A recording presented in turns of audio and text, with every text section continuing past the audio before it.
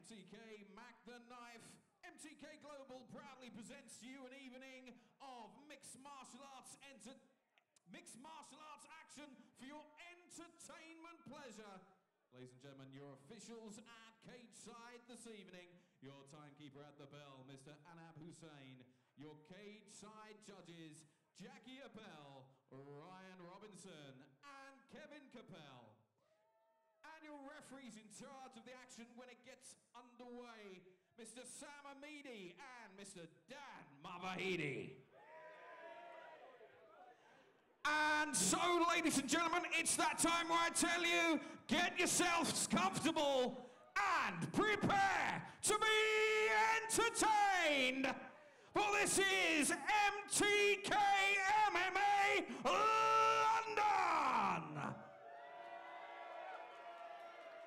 Without any further ado, oh, let's get the action underway.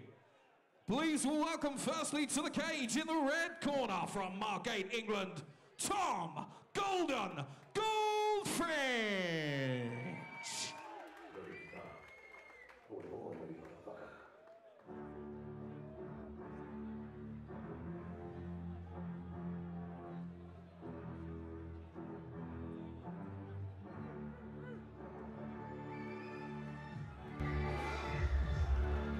So, welcome, ladies and gentlemen, to MTK Global.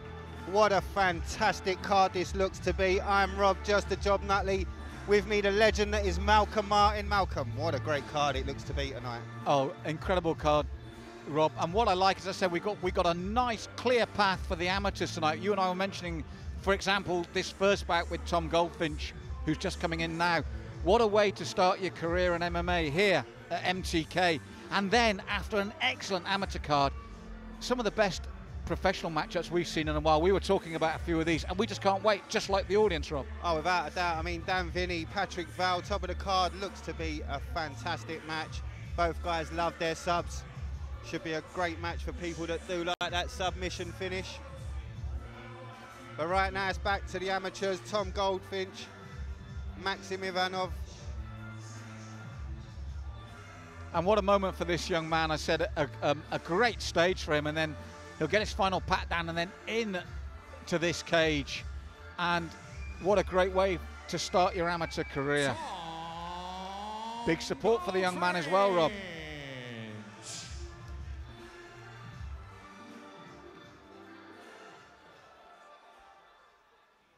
And now, please welcome to the blue corner from the Ukraine, Maxim Ivanov.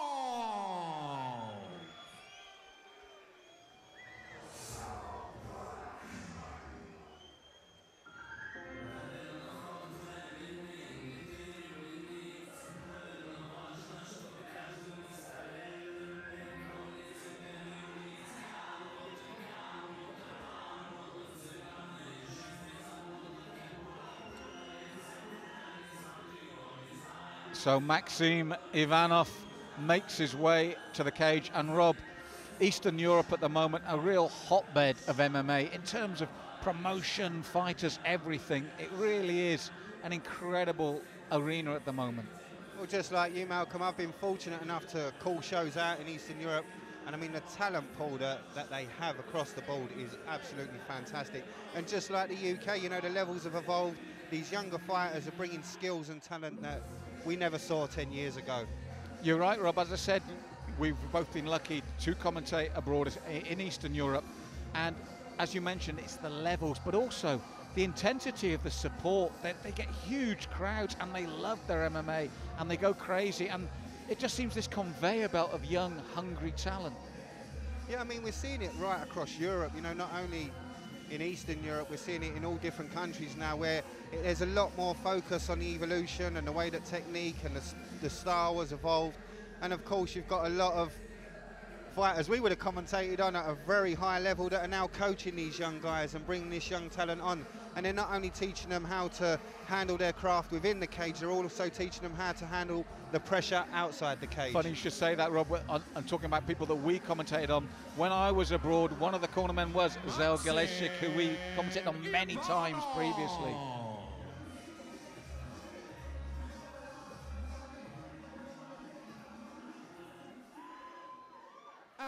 This MMA rules bout will take place in the featherweight division over three three-minute rounds.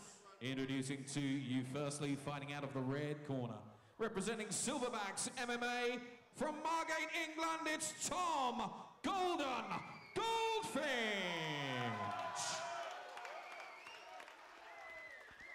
And across the cage, fighting out of the blue corner, making his debut from the Ukraine, it's Maxim Ivanov.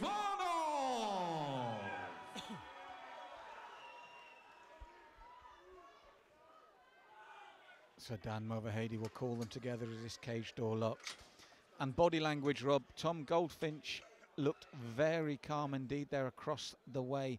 Not taking his eyes off Maxime, but just very relaxed with his body language. We'll see how that translates to this opening round.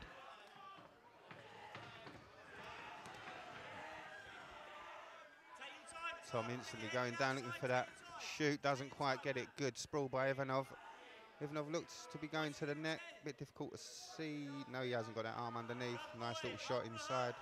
Well, the thing with Tom Goldfinch, he set out his stall very early, Rob, didn't he? He crossed the cage very quickly, went for that takedown. Wasn't subtle at all. As we said, they're amateurs, they're making their way at first. He went for it, he finally got it, but um, Maxime Ivanov from there looks very strong immediately. He does, he's inside the guard now. Goldfinch just putting the heel on the hip, trying to create some space, climbs the legs up, locks the arms. Maxim with good shots.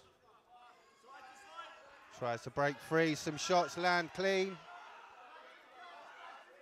Yes, I think Goldfinch w- was stung there, and for the man that wanted to initiate the takedown, he's the one under the pressure now from, as we said, that strength of Ivanov, and again working that neck once more, Rob, and looking for position again.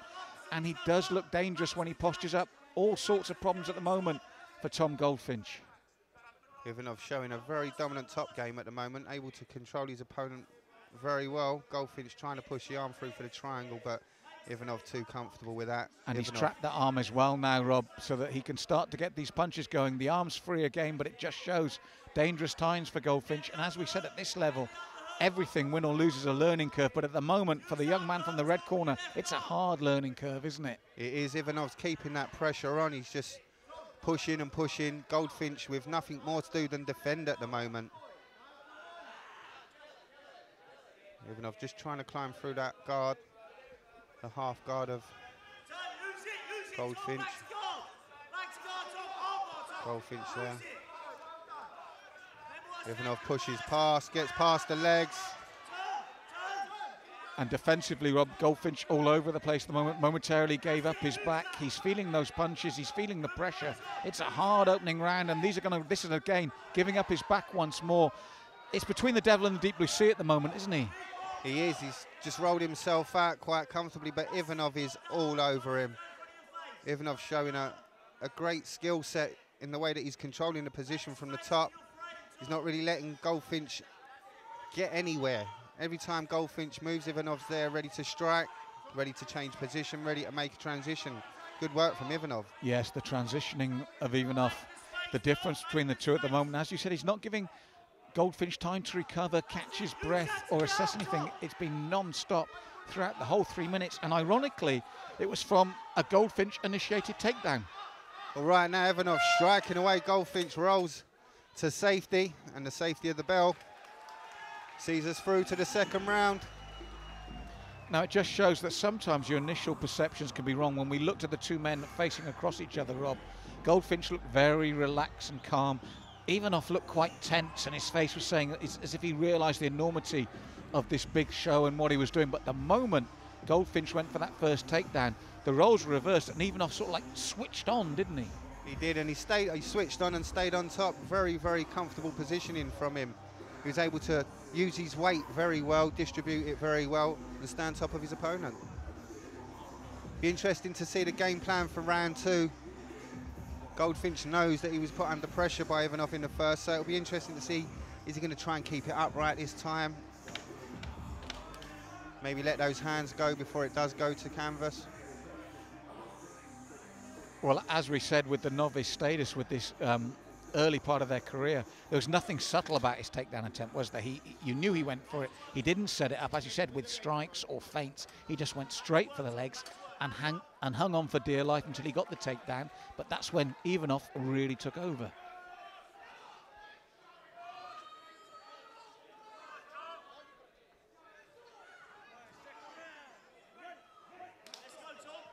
So as Dan, our referee says, round two, and it starts upright. Both men big bolo right from Ivanov Rob, and then the front push kick coming forward. He's grown in confidence across that first round. Certainly has. That big right hand over the top. Dangerous shot, head kick. Goldfinch looked a little bit disorientated. Well, it landed clean, Rob. As I said, it was a good shot. It came right at the bolo right hand he threw, and then he threw the, the leg kick right up to the head. And now it's a different game where Ivanov initiates the takedown from that, that stand up that he was actually doing well on. But we saw in the first round he feels pretty confident on the floor here. Yeah, you can see he's just pushing his way through past the legs now. Goldfinch in trouble from this position, even off side mount position. Goldfinch gives up his back, needs to be careful. Nice work by Ivanov. Ivanov now looking for the sub. Yes, Dan Mulvahedy coming in close. You can see the, the signs here, and it's been a tough learning curve for Tom Goldfinch. Ivanov just beginning to crank up the pressure here, Rob. Yeah, I think we're going to see a nice D'Arce choke if he can get it. It looks to be on quite tight. Referee Dan Mulvahedy looking on closely, making sure the fight is still okay down there. Remember, some of these chokes can come on very quickly. Ivanov changes tact. Looks to step over, maybe take the arm. He's got it deep.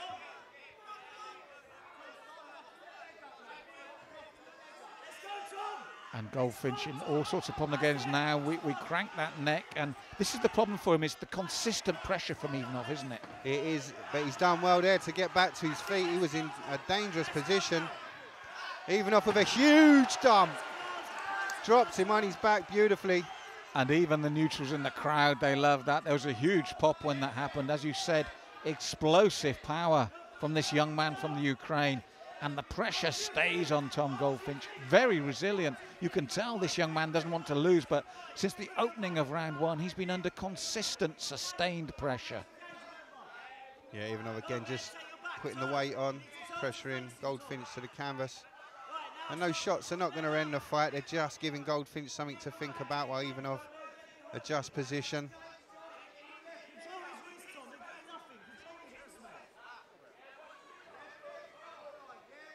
Looking to slide over that leg again, but Goldfinch defends well. Keeps Ivanov off balance. Ivanov postures up. Last few seconds of the round. Well, Rob, in both rounds, you've got to say he's resilient, he's durable, but Tom Goldfinch is in resistance mode, isn't he? He's not in offensive mode, it's very defensive. He's just trying to stay in this back from the constant pressure from Maxim Ivanov. Yeah, he's, he's been under a lot of pressure from the first round, as you said, Malcolm. And that, for me, that round he dominated even more so. Ivanov, he showed his hands in that first, showed his ability.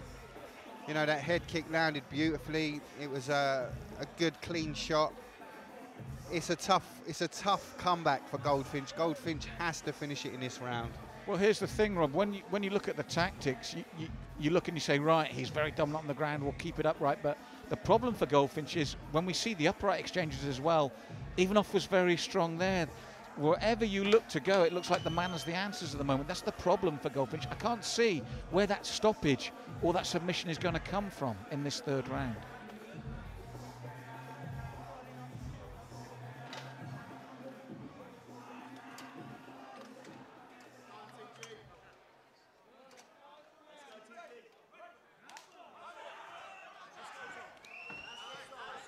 So we start with the inside leg kick from Goldfinch and the outside. He's got to try these different tactics, but a real powerhouse stood in front of him. And it's the right tactics from Goldfinch to keep that range. But again, Ivanov has that confidence to sort of like walk through him almost, doesn't he, Rob? He does. He's thrown some good shots as well, Mark. Different range. He went upstairs. He then went to the body. He's showing a good skill set, Ivanov. Oh, big spinning back fist. And although he misses, he manages to get the body lock, Rob, and then the knee comes in. And this is the power that we've Beautiful seen from takedown. Ivanov.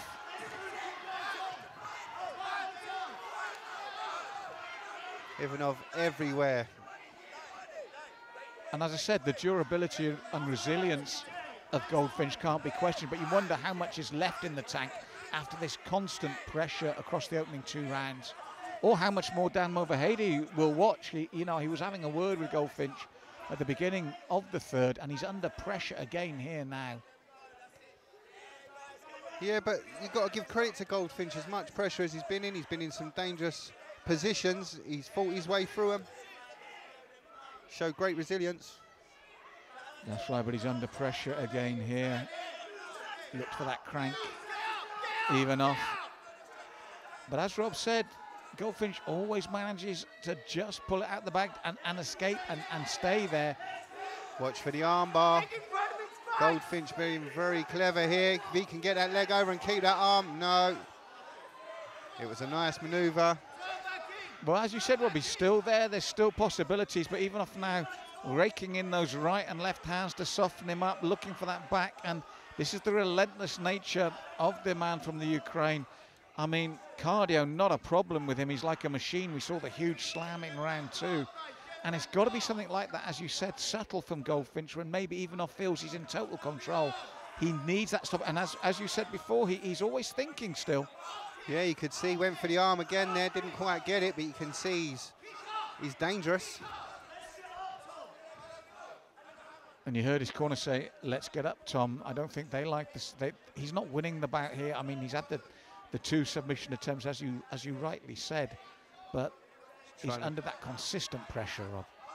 Tried to climb with his legs again there, but Ivanov just able to take his time, posture up and fire. To watch those up kicks. And again, Ivanov sprawls top position, pulls his opponent down almost too easily. It's the control factor, Rob, as we mentioned before. In terms of control, it's been all blue corner with this last 10 seconds. All credit to Goldfinch to still be there at the end of the three and have those short attempts at the submissions as well, to still be there, still thinking under this intense pressure. But it's got to be a big win for the Ukrainian in the blue corner. Yeah, I mean, it'll be the judges that make the decision officially, but without a doubt, my favour's on the blue corner.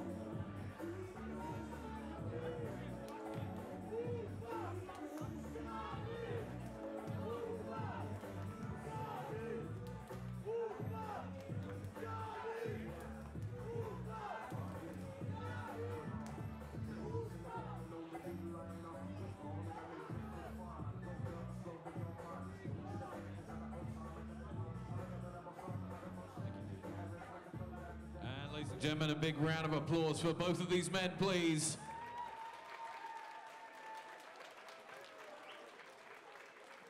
And at the end of those three completed rounds, your ringside judges have reached a unanimous decision All in favour of your winner, fighting out of the blue corner, it's Maxim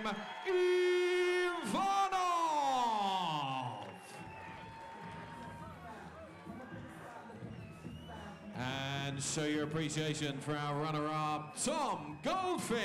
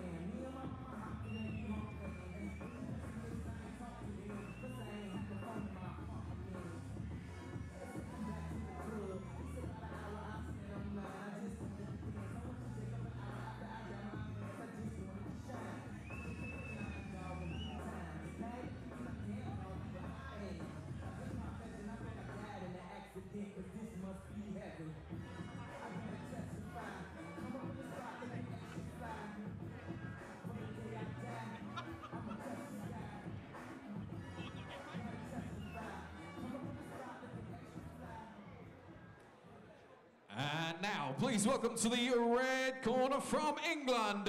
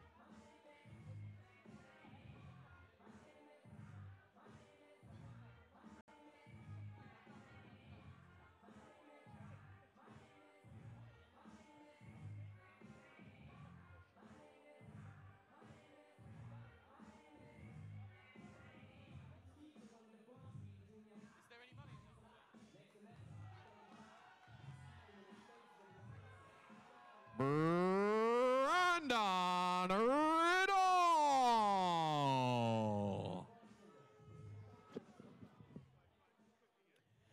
And please welcome to the blue corner from Birmingham, England, Kieran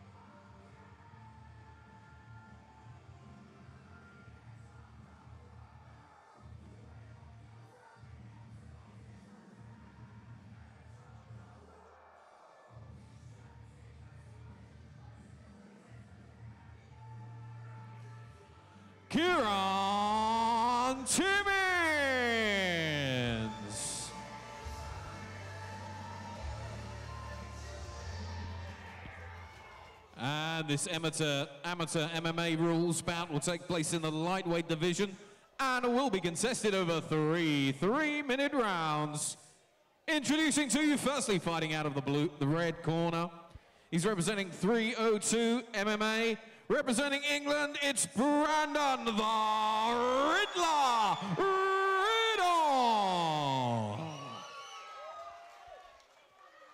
And across the cage, fighting out of the blue corner, he's representing Jinx Gym in Birmingham, England. Please welcome Kieran Timmins. So here we go, Malk. Amateur bout, but Kieran with a record of 2 0 against a debutant in Brandon Riddle. And Rob, I think you saw um, Kieran Timmins' second bout, didn't you? That's right. I, commentated on him. Uh, I believe we're in Darlington in Newcastle. Um, great young fighter, good young talent. Can be temperamental though, so that's one thing we have to watch out for. But right now, trying to get that single leg. Brandon firing those shots, just popping them off. Switches legs now. Huge takedown from Timmins, but straight into the guard of Riddle. Yes, Riddle in incredible shape for his debut, and um, as you said, giving away just the two-fight experience. But Timmins straight into the triangle.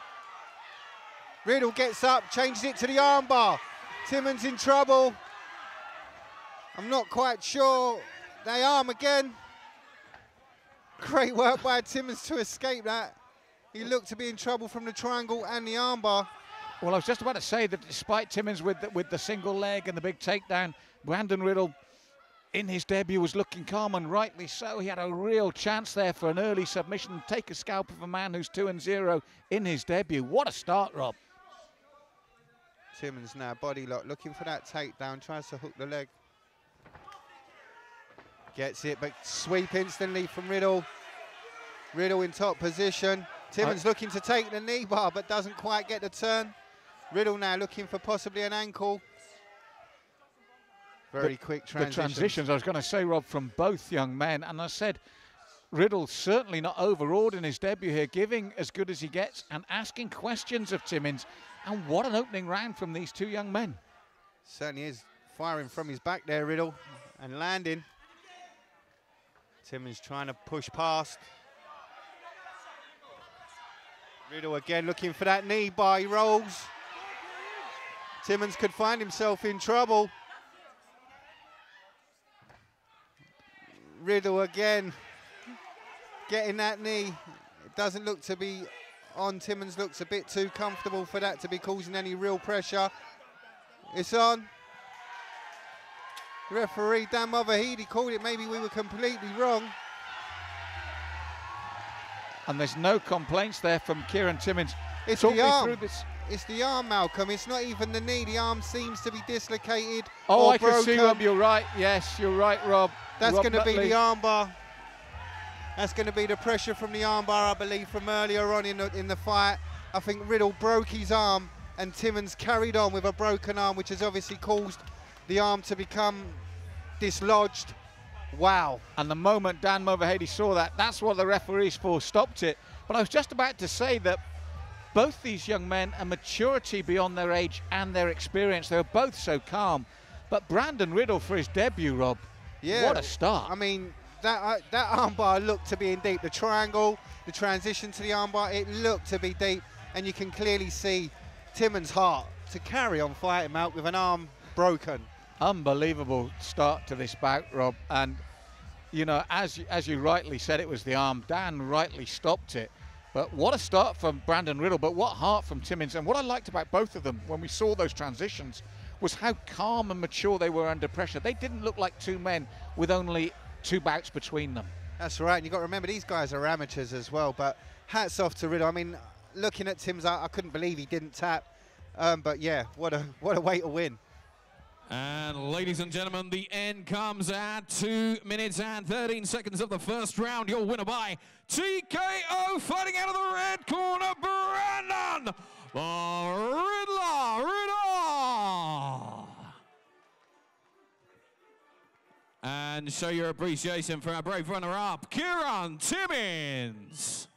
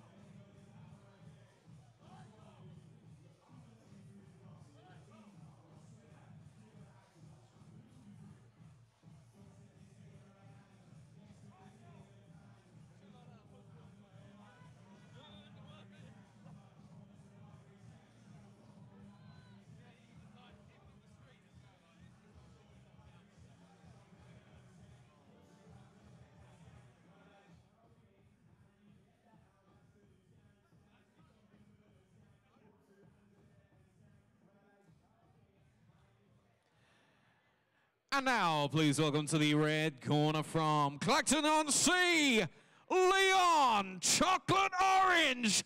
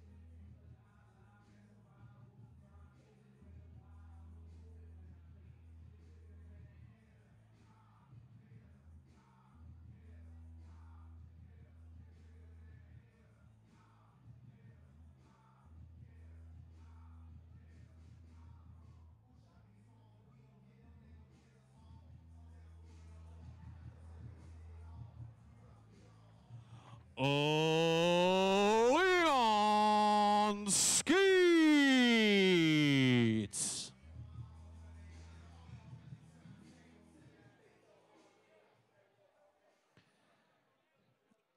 And now, please welcome to the blue corner from England, Tommy Gunn Flynn.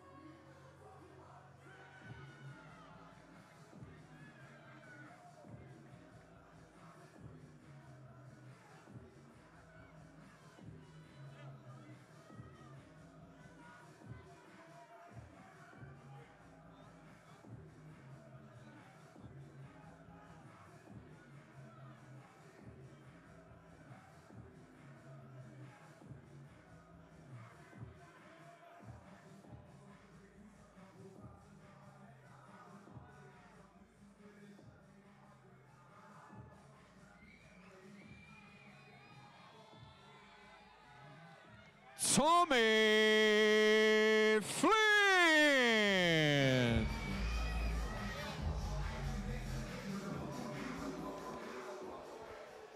And this amateur MMA rules bout will take place in the featherweight division over three three-minute rounds. Introducing to you firstly, fighting out of the red corner, he's representing Primal Combat Academy in Clacton on Sea, England. It's Leon Chocolate Orange Skeets. And across the cage, fighting out of the blue corner, he's representing Silverbacks MMA in England. It's Tommy Gunn Flynn. So, Rob, big support for Tom Flynn here from the Silverbacks as he comes into the cage to face Leon Skeets. Both young men making their debut, and what an atmosphere to make your debut in, as we heard with those entrances. Yeah, it's a big atmosphere, but sometimes you've got to remember that also brings along its pressures. You know, it's great having friends, family, and everybody out there to cheer you on, but sometimes you feel like you're fighting for them rather than yourself. That's right. Good call there. And Flynn was very pumped up coming into the cage. And that, that can leave you, can't it, a- alongside your adrenaline, your stamina. As you said, it, it's a lot to carry on your shoulders on your debut. Let's see how he copes here. Tommy Gunn Flynn, big round kick off that rear leg, immediately double leg. And from Leon Skeets, reacted immediately, Rob. Beautiful shoot. He went underneath, got the takedown.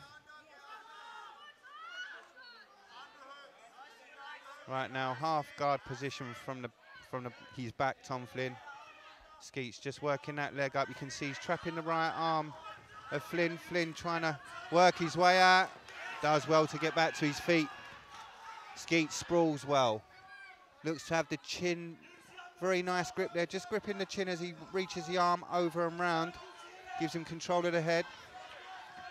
But Flynn shakes him loose.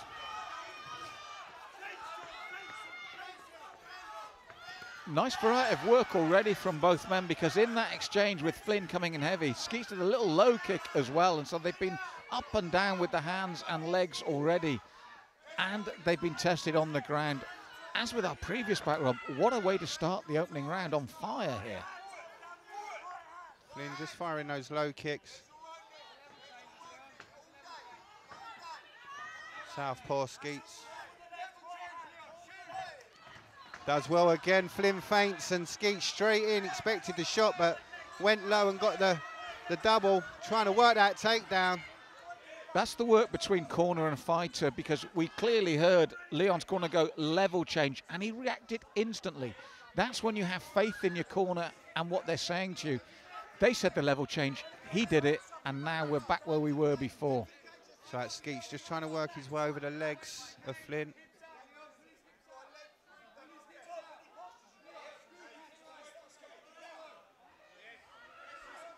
And again, you can see him just shake his head in acknowledgement of what his corner's saying. Great to see. And Rob, from what we've seen so far, it's obviously that Tom Flynn really fancies his chances upright. He really tried to get upright at every opportunity and get that space between them. Again, Flynn firing that low kick. Fires a bomb with that right. Now Skeets took that, he took it well because he was moving away from the right and it was a good job he was because as, as we can see and as I said, Flynn likes it upright, but there's a capoeira response from Skeets. Anything you can do, I can do better, I think is the song.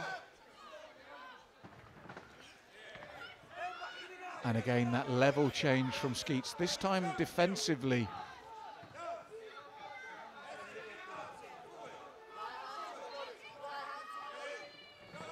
And you can see Flynn trying to load up that right hand, Rob. You know he wants to throw it.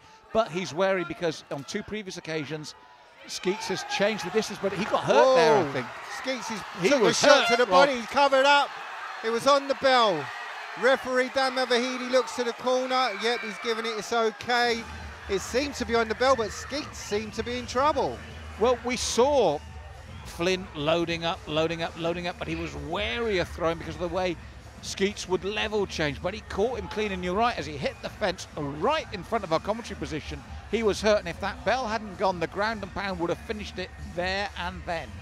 Yeah, I think he was winded by the kick there. It seemed to be, I think it was a spinning kick from Flynn that seemed to catch him quite cleanly and took the wind out of him, I think, Matt. Well, what an opening round, Rob. Again, Flynn, as we rightly said, likes to keep it upright. We can see why. But every time he chanced something, Skeets was very good at transitioning, listen to his corner, doing that level change. And then the moment he didn't, he gets caught. What a perfect way to set up the second round. The stylistic differences between these two men are, are making this an incredible bout. And again, two men making their debut would not know with the skill level here these were debutants. No, I mean, it, it's fantastic to see.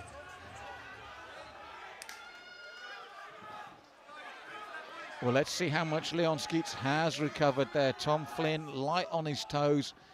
We see he likes to remain upright. He's got the kicks, he's got the punching. We could see him loading up that right hand. The knee this time as Skeets came in.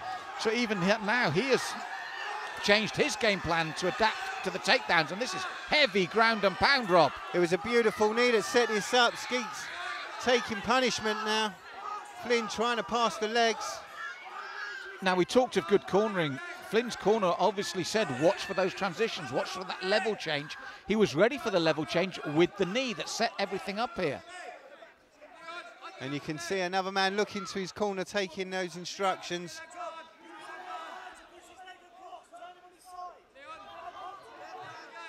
And you can hear his corner calling instructions. And now get now back covers up. pound, Rob. This is heavy Skeets shots is again. covering up, he doesn't move, doesn't defend himself, and Flynn wins. A big victory for Flynn. And very much against the flow of the first round, Mount. Rob, this for me was not only a tale of two rounds, but a tale of two corners. They both adapted. Now, Flynn's corner obviously said to him, watch for the level changes. He changes levels, he causes you problems. The first time Skeets attempted the level change, he had to eat the knee, and everything was set up from there. So there's a, we've seen two excellent camps give their fighters instruction. We've then seen the two fighters listen to that instruction, and it really reaped dividends for Flynn. You and I both know because you you called it. He went for the level change and had to eat the knee, and from then onwards, Flynn just let that power go. Great fight, and what a great win, and what a great way to make your debut. Oh, superb back, Rob. Two young men, excellent work from both of them, and a big win for Flynn.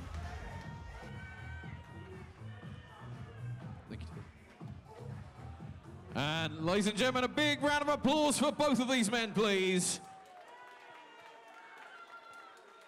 But the end comes after one minute completed of the second round. Your winner by TKO, fighting out of the blue corner, Tommy Gunn Flynn.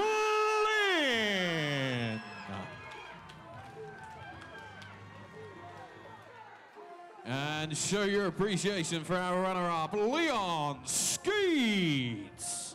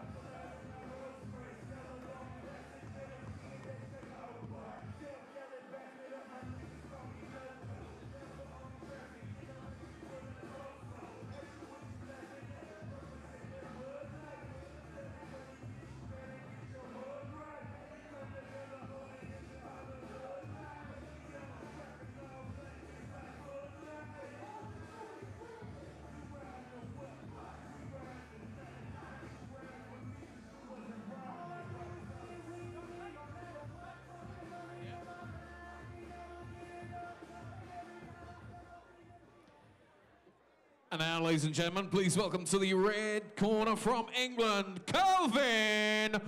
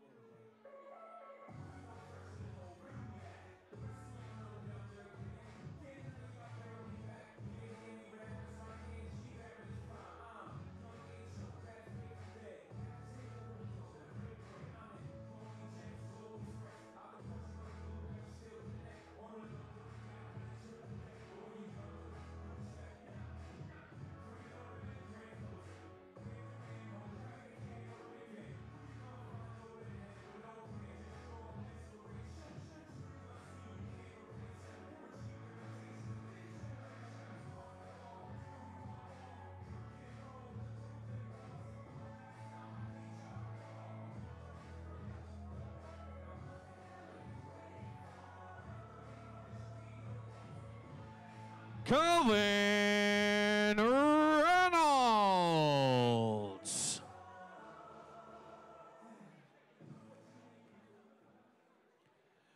And please welcome to the blue corner from South London, Ben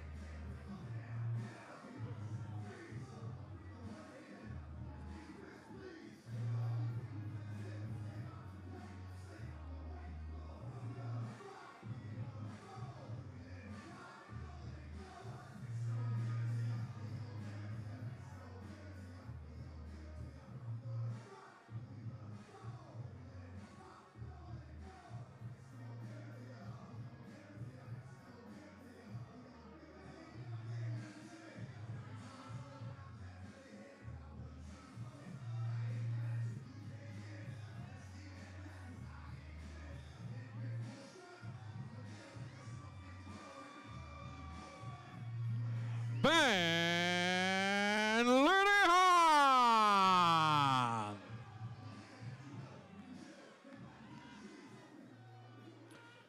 And ladies and gentlemen, this amateur MMA rules bout has taken place in a catchweight in the middleweight division and will be contested over three three-minute rounds. Introducing to you firstly, fighting out of the red corner, he's representing G and A Wrestling in England. It's Calvin Reynolds. And across the cage, fighting out of the blue corner, he's representing Diesel Gym in South London, England. It's Ben Linehan.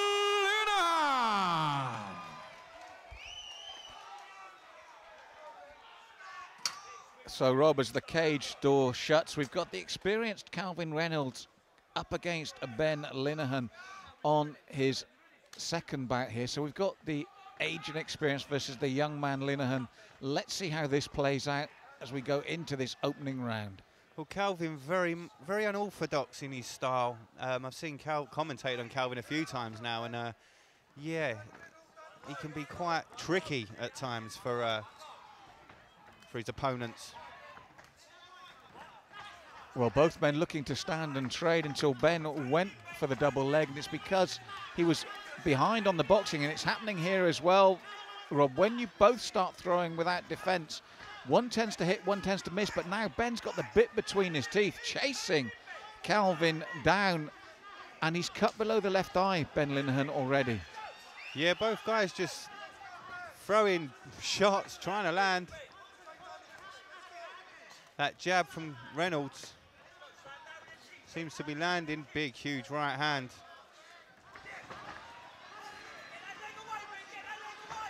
Reynolds holds the leg, tries to get the takedown, didn't quite get it, fires away. Oh, he got caught there. He was winning the exchanges, and then a solid right hand from Linehan. And Reynolds had to eat that, and he got hurt there. He winced, went to pull away. And as you said, both men going for broke here early. And Linehan suddenly turned that around with a huge right, Rob, and he's looking for it again. Well, Reynolds just landed a left there, tries a spinning back fist, doesn't get anywhere. Both fighters happy just to throw big, huge bombs. Oh, he's saying he got caught low there, Linehan. He, he collapsed to the canvas. The referee saying, I didn't see it, and he's allowed Calvin to continue. Reynolds fires away. Ben had no defence at all. Keeps his hand over his groin. Sam Amidi just telling him, I didn't see the groin strike. Unfortunately, you can't just hold your groin and claim groin strike. That's not how it works. Referee's there to protect you. If he'd seen it, he'd have stopped it.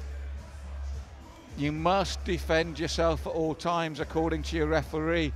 Up until that point, though, Rob, an old fashioned slugfest. It was as simple as that. It was untidy, it was scrappy. I mean, it had to come to an end in some form or another. And Reynolds, you know, managed to finish it. Yes, I mean, Linehan, again, showing his lack of experience, went to the canvas, said to the referee, the groom, we clearly heard Sam Hamidi say, I didn't see it, you must defend yourself. That's all Calvin Reynolds needed to come flying in and finish it. Until then, both men had taken their fair amount of licks. They certainly had. I mean, it, it's not the ideal way that Ben would have wanted it to end, but Calvin Reynolds gets his hands hand raised in victory.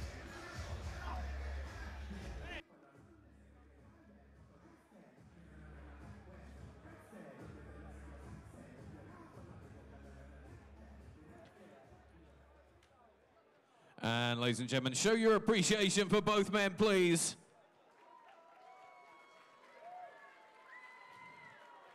But after one minute and 40 seconds completed of the first round, your winner by way of TKO, fighting out of the red corner, Calvin Reynolds. And show your appreciation for our runner-up, Ben Linehan.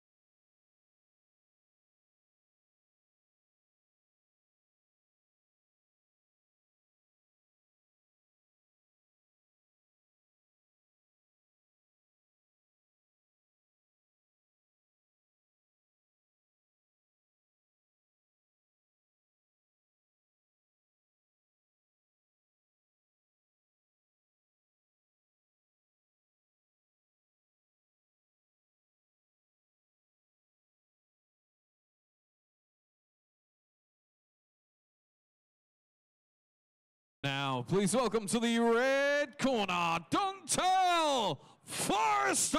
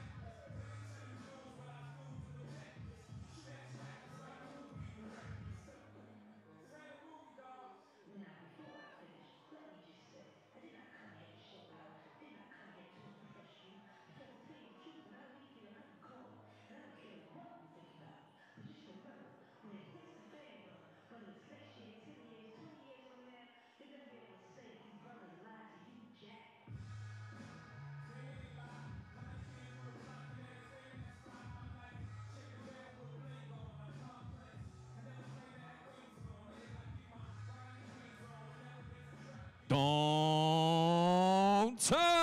Forrester.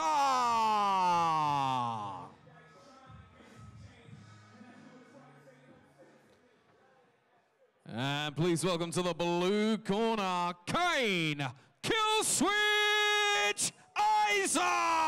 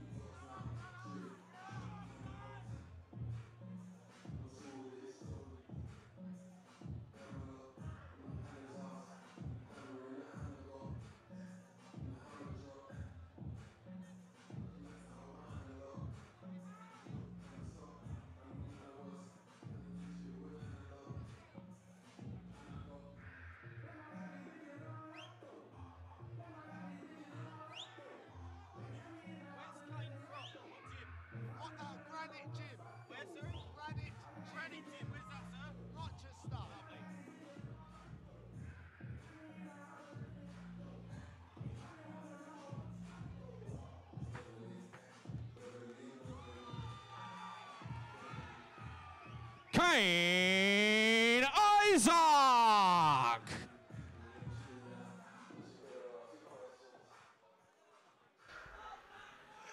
And ladies and gentlemen, this amateur MMA rules bout will take place in the featherweight division. Introducing to you, firstly, fighting out of the red corner. He's from Cheshunt in Hertfordshire. Please welcome Dontel Forrester. And across the cage, fighting out of the blue corner, representing Granite Gym in Rochester, Kent, it's Kane Killswitch Isaac. And this bout will be contested over three three-minute rounds. We continue with the amateur part of the card tonight. Dontel Forrester in the red corner and big support in the blue corner, Rob, for Kane Isaac here tonight. Yeah, he's brought a huge fan following with him, throws his legs out there, but Forrester out of range. Yes, Forrester saw the, as you said, the, the spinning kicks there. Looked to get that body lock on quickly and pull his man in tight out of that kicking range. It would have been an explosive start as it is. They test each other's mettle against the cage wire here. Forrester just those short knees inside, jostling for position, trying to get those underhooks. Isaac looking to turn, get that hip toss, but Forrester with a good base, just drops his weight slightly.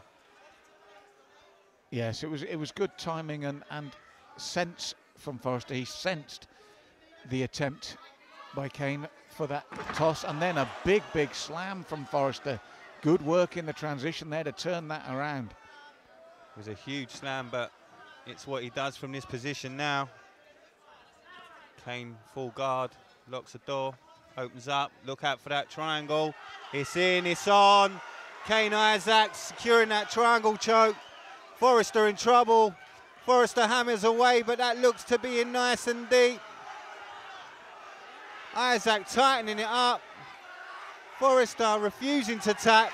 Referee Movahedi calls it and breaks them apart. Forrester a little bit wobbly on his feet from that triangle. Beautiful work. Now, Rob, it was a huge slam by Forrester, but you actually said, what can he do from here? It wasn't what he could do, it was what Kane Isaac could do. He took that slam, stayed calm, stayed cool, got the triangle on, and he wasn't going to let it go. Beautiful work. I mean, the, the transition he made, he kept it tight. That's the, the key word here, tight. Kept it nice and tight, locked it in, locked it in real nice. Forrester could only tap. There was no escape once it was in. Yes, a, a classy finish from Kane Isaac under pressure. Took it all, got that really tight, the triangle, and a big win in the opening round for the man who brought a huge support here tonight.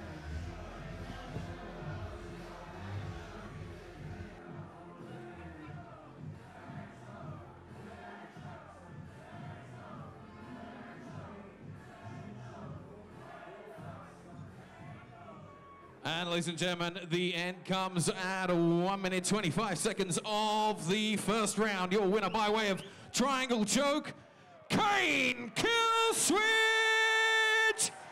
Isaac!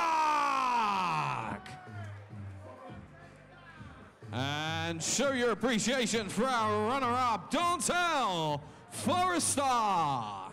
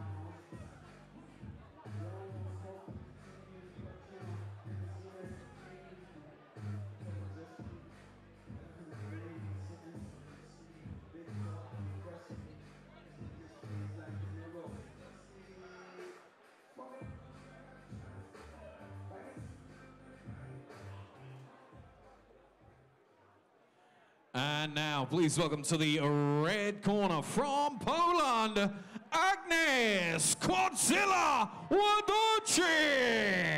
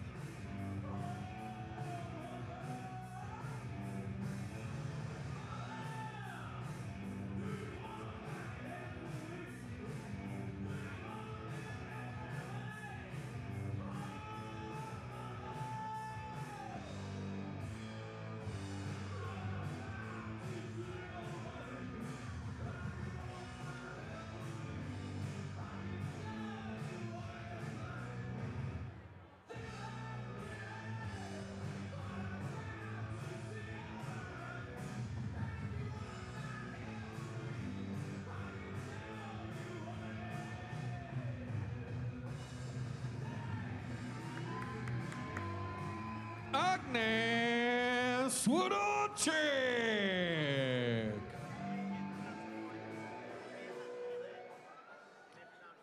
And now, please welcome to the blue corner from Cheshunt, England, Zoe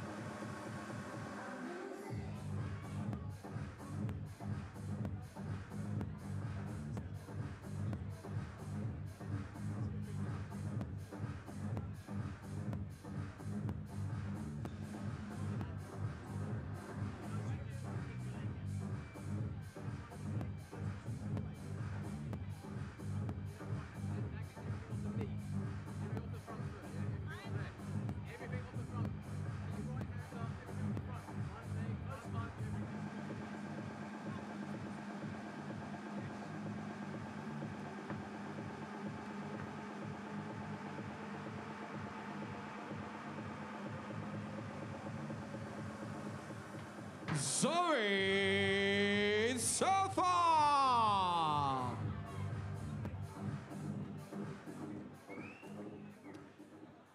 And this amateur MMA rules bout will take place in the bantamweight division and will be contested over three three-minute rounds. Introducing to you firstly, fighting out of the red corner, she's representing Silverbacks MMA from Poland, where she's known as Quadzilla Agnes.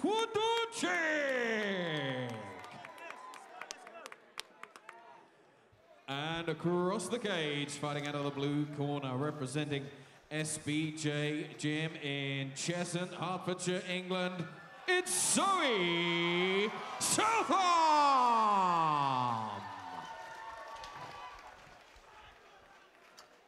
So, Rob, huge support for both these young ladies here. Agnes Rozardzik from Poland making a debut. Zoe Southam, just the one back, so just the one back between them. But what I can say is they've both brought a really big support behind them here tonight. So he starts by popping out the jab, but the distance quickly closed down Underhook, by underhook. Agnes. No, no, underhook, Agnes. Turn, turn, turn, turn her, turn her. Agnes, feet on the floor, feet on the So he's just applying the pressure. Foot stomp. Yeah, as, as she was looking for the foot stomps, Agnes was looking for the knees and looks for the takedown but doesn't set it up. Goes for the double leg without setup there. Zoe aware of it. Agnes just walking forward, walking into those shots. She needs to cover up. They're starting to land. Legs, take it down. Zoe did well there, landing those shots cleanly. Well, the problem for Agnes, Rob, is she set out a stall. We know what she wants. It's obvious what she wants. She wanted either the single or the double leg, which she's continually going for. She finally gets it, but she had to eat a lot of shots to get there. Okay, arm in front of her face, remember. So he's just using her leg, and you can see that the way she's holding her ankle. It just controls the hips of Agnes. Shoulder pressure, Agnes. Let it go now. Shoulder pressure. Okay, push on the inside of her leg. Agnes just trying to slide are through. Open. Her legs are open, Agnieszka. Her legs Couple of heavy open. shots. Pass the guard. Pass the guard. Agnes, think about passing the guard. Pass her half guard. You That's see it. Agnes top relax. position, just trying to get her leg out from the guard position of Zoe. Yes, she gets the leg free. It'll be a far better position for, for Agnes as it stands. Needs to be careful though not to give up her base because she can be swept if she's not careful. That's it. On the mount. Her guard's open, Agnes. Her guard is Agnes open. Pops up, fires away, but guard. Pass the guard. Zoe defending well with her legs, just keeping that distance. But Agnes now trying to posture up. Agnes, pass the guard.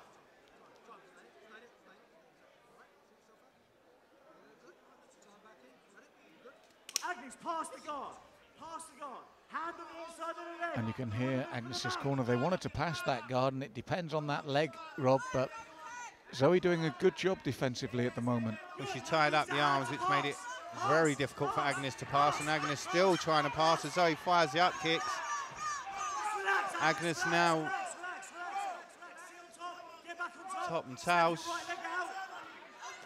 Agnes, Tries to use those hammer fists, but Zoe replies with a couple of her own. That's right, still very active from her base there, Zoe. right arm out. Pull your right arm out. She uh, firing those shots. Beautiful work. Needs to make it to her feet. Agnes sprawls well, goes with fires those knees to the midsection of Zoe. Not very powerful, but just something for Zoe to think about.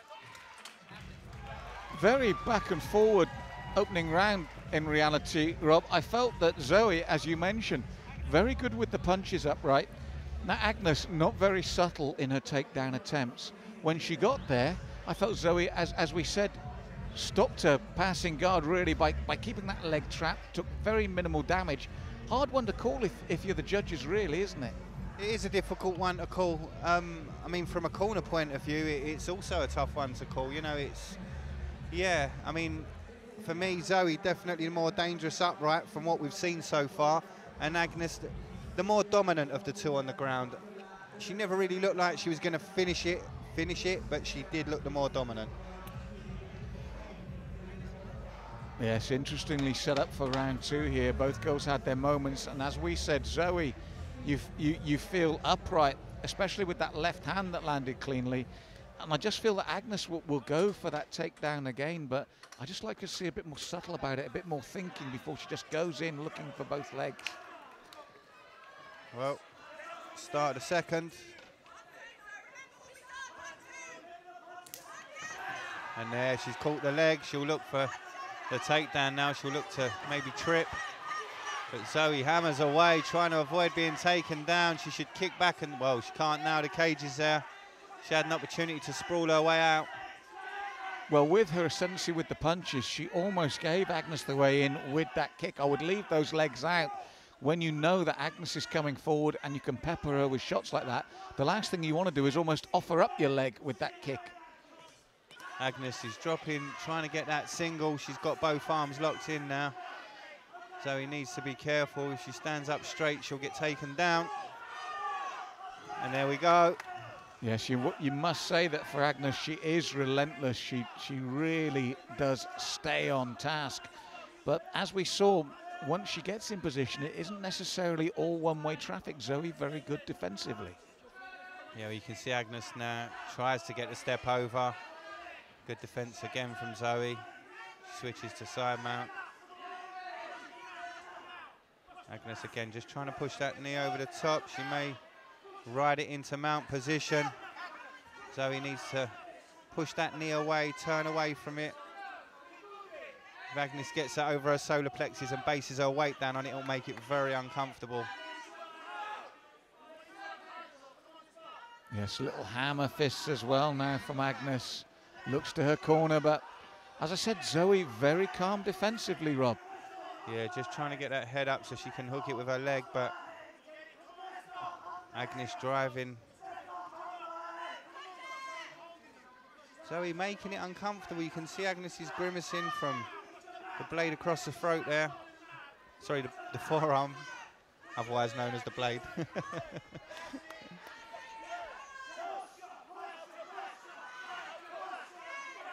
And again, we can see Zoe very comfortable and confident off her back against the offensive Agnes.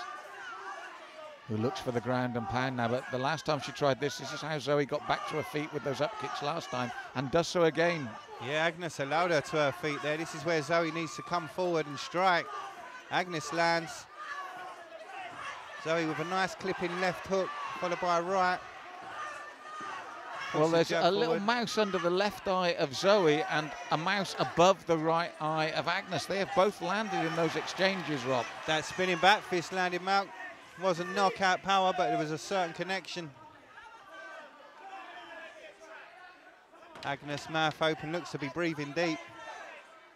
Well, she put a lot into those takedown attempts and had to, as you said, eat, eat some heavy shots. And you can see the mouse beside the right eye of Agnes. There's one just under on the left cheek of Zoe. They're showing the scars of battle now deep into this bout with one round to go. And I think, again, Agnes relentless in what she wanted to do, but the problem for her is when she gets Zoe to ground, she doesn't have it all her own way. And upright, I think the edge is with Zoe. It's it's nicely balanced this one, Rob. It is, and it's great to see here at MTK the cut men straight into action, working on those bumps and bruises.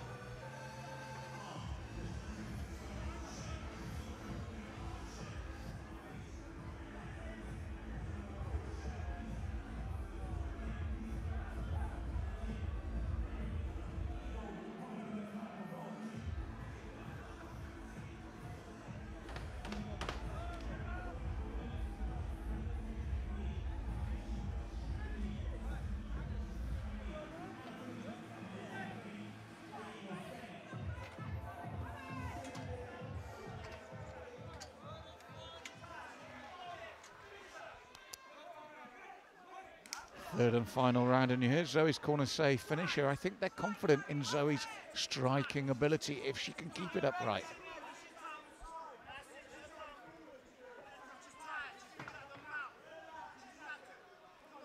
Yeah, you can hear Zoe's corner are confident that Agnes is struggling for cardio. Yeah, Zoe light on her feet, moving, looking to count. And you can see the little squat there for Magnus. She's still going to be looking for that takedown. And I think the corner's right. Zoe needs to keep this upright, keep probing with the jab and that left and right combination. Because Agnes is not subtle when she comes in.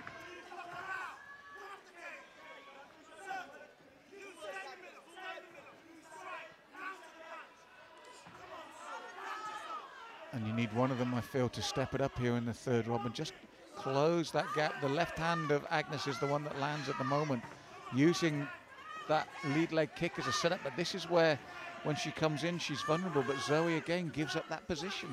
Yeah, this is not where she wanted to be, and you could hear Zoe's corner calling for her to take a little bit more control from the centre, allowing Agnes to play her game. Goes in and looks for that single and drives. Bases out, but there again, she gets where she needs to be, and this could be vital with the judging across the three rounds. Rob. All right, Zoe on her back. Agnes side mount position.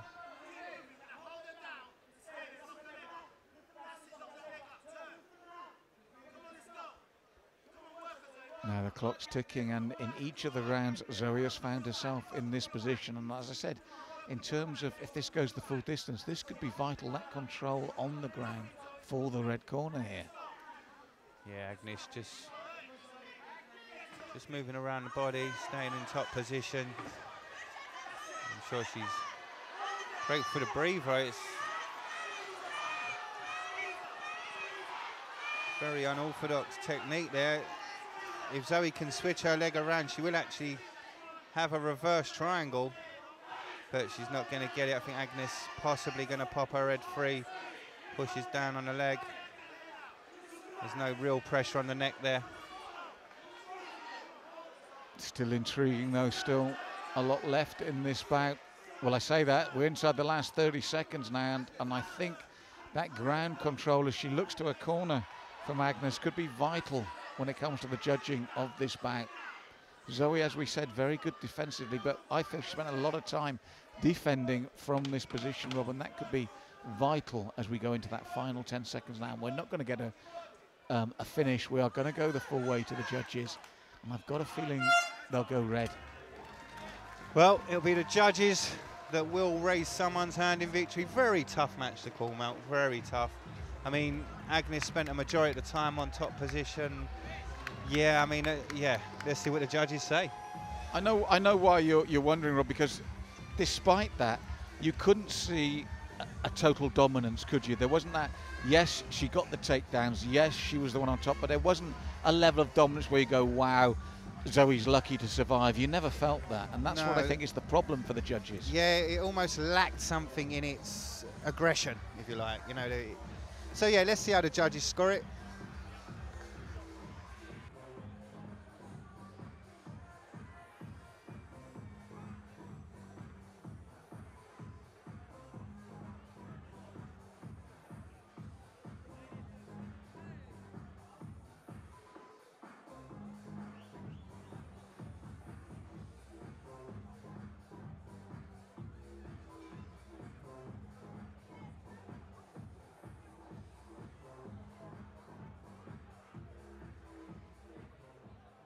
And ladies and gentlemen, a big round of applause for both these ladies, please, after three hard-fought rounds.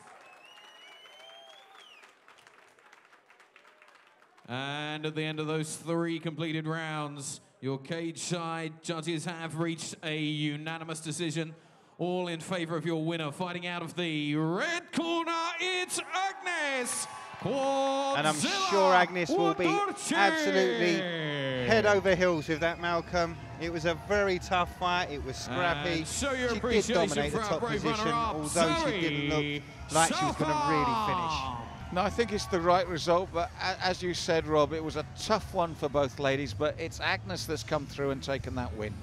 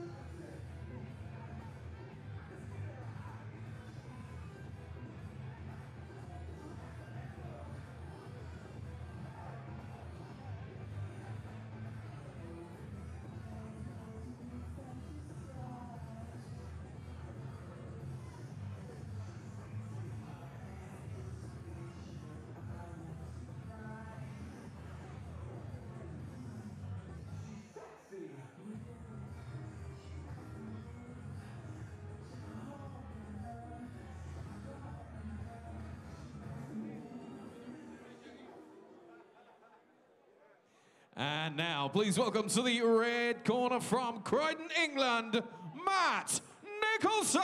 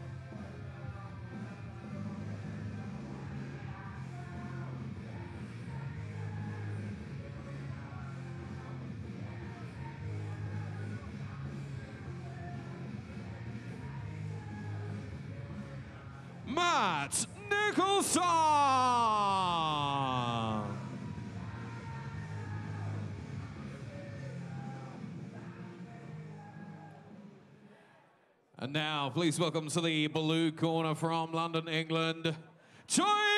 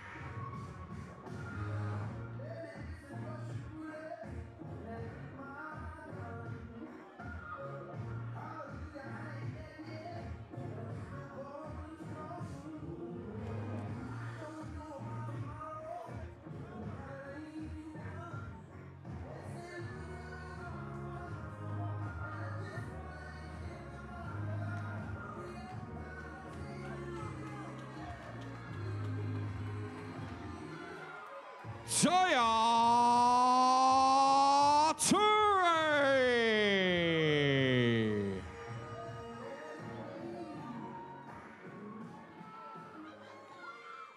And this amateur MMA rules bout will take place in the middleweight division and will be contested over three three-minute rounds. Introducing to you firstly, fighting out of the red corner, he's representing New Wave Gym in Croydon, England. It's Matt Nicholson. And across the cage, fighting out of the blue corner, he's representing Team Titan in London, England. It's Jaya Toure.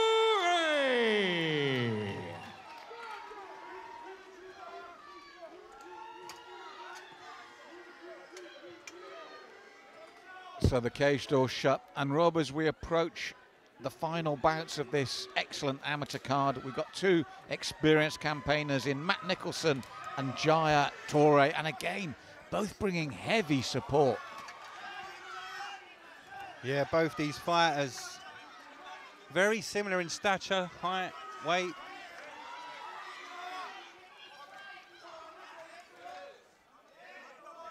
And Good some knees. vicious knees coming in there from Matt Nicholson Yeah, to the nice inside of the thighs, Rob. Toure trying to push away, trying to keep Nicholson at range. Nicholson trying to drop, I think, trying to get that takedown possibly. Toure just trying to control that wrist. Well, I think you're right. The knees were definitely the setup for the double leg, but Toure saw that, and he, he's going to have to take. He's taking the knees again. Then there's that twist and turn, and again Nicholson stays on him, but you can see what Toure's trying to do: shift that balance, watch for that change in weight when the knees come in, and move his man. Yeah, and Tor- Nicholson relentless. Toure's trying to get his back off the cage, but Nicholson using his weight really well just to control, control the fight and keep it there.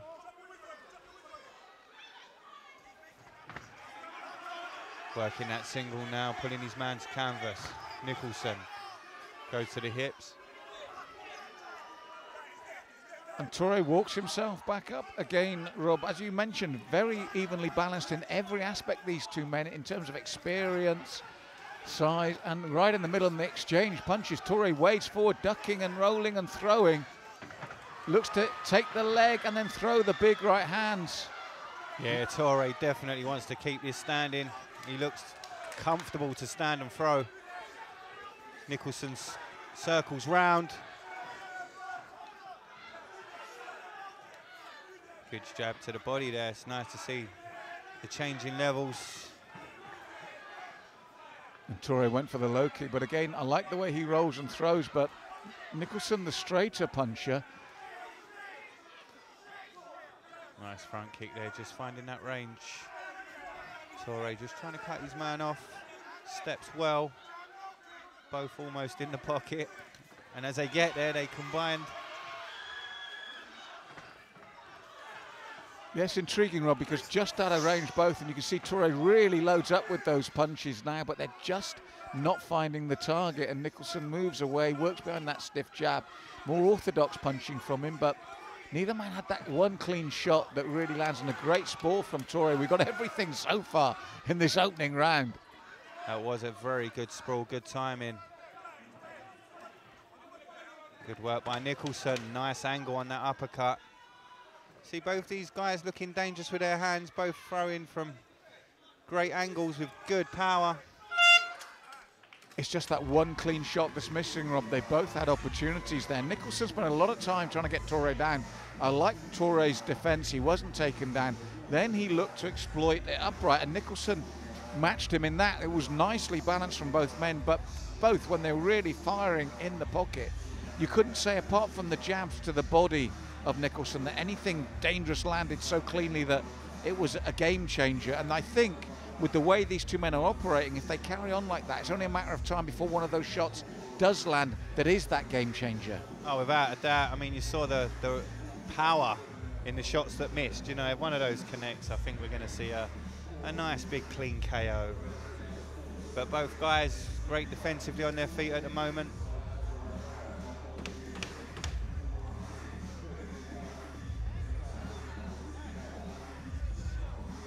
And it'll be interesting to see if Nicholson pursues the takedown again at the beginning of round two because towards the middle of round one, he gave that up and was happy to stand and trade with Toure, and they're both still there. So I'm wondering if he'll go back to basics and look for the takedown again, or will stay upright as we did right at the end of the opening round.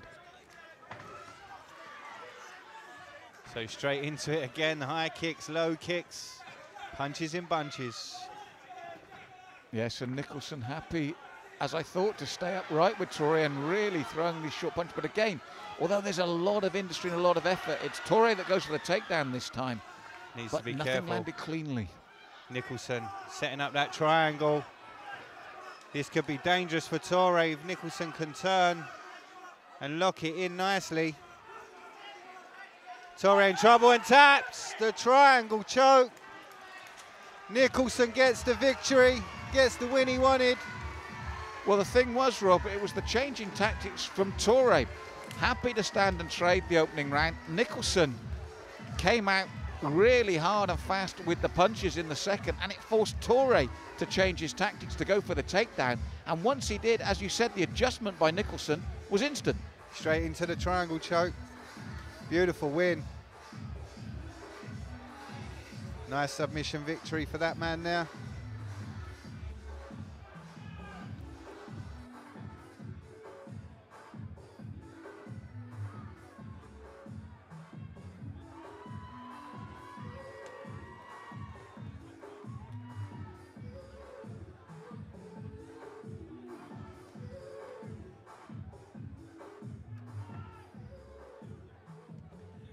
And ladies and gentlemen, a big round of applause for both these men, please.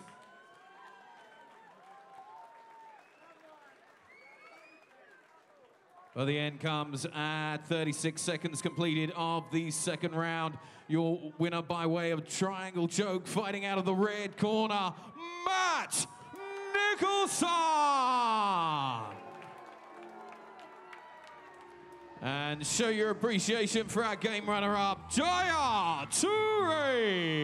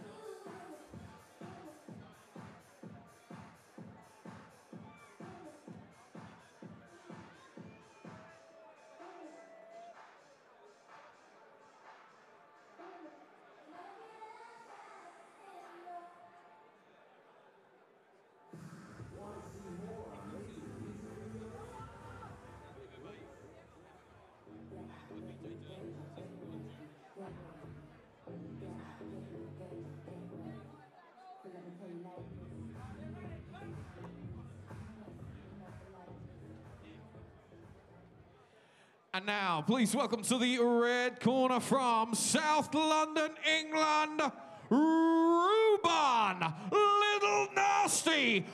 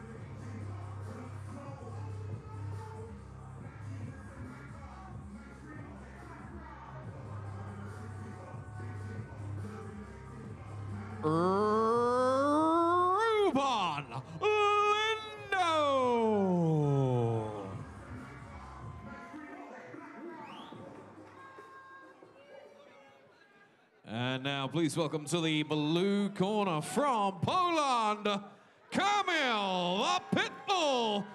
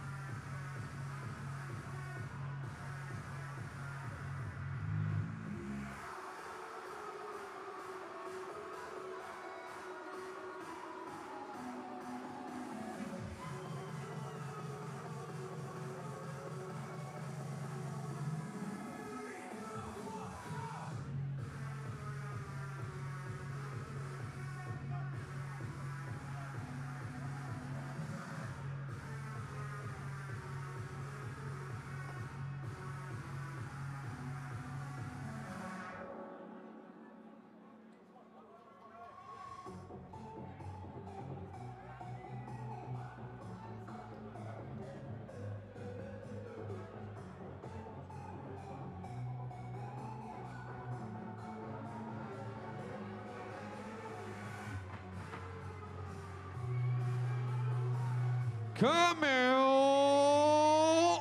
Uchman.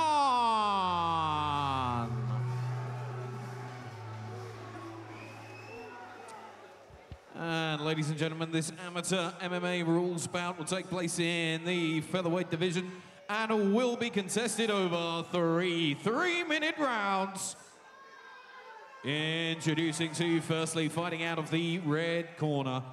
He's representing pound for pound Gym in South London, England. It's Ruban Little Nasty Lindo.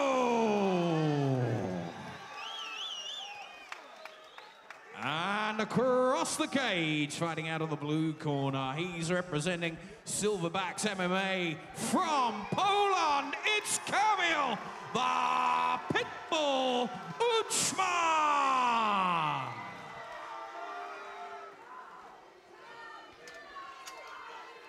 So, Rob, on paper, a superb way to end the amateur part of the card tonight. Incredible atmosphere for the amateurs. The Indigo packed here tonight, and two men unbeaten, Ruben Lindo and Kamil Uchman, who have both brought big support again. Yeah, Ruben I've commentated on a few times. Very talented fighter, but right now Uchman driving forward. Locks up those arms.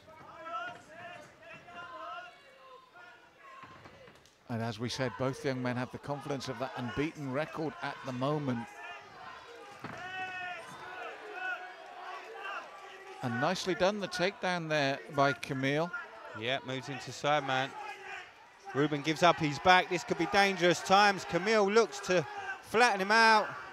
The arm looks to be under from our position. I can't see if it's deep under, but it seems to be under. It's dangerous, Rob. I'm telling you, and I said for a young man unbeaten in four, Ruben Lindo under all sorts of pressure at the moment. And here he goes looking to flatten Ruben out now. Ruben doing the right thing. Seems to have both hands on that arm, trying to pull the arm out from around his neck. Difficult to see. Uchman just trying to stretch it out. Very difficult to see from our position just how deep it is. Ruben's head we can see is slightly turned, Malcolm, which suggests to me that he can still breathe. Yes, he's under real pressure though as Kamil really looked to flatten him out there.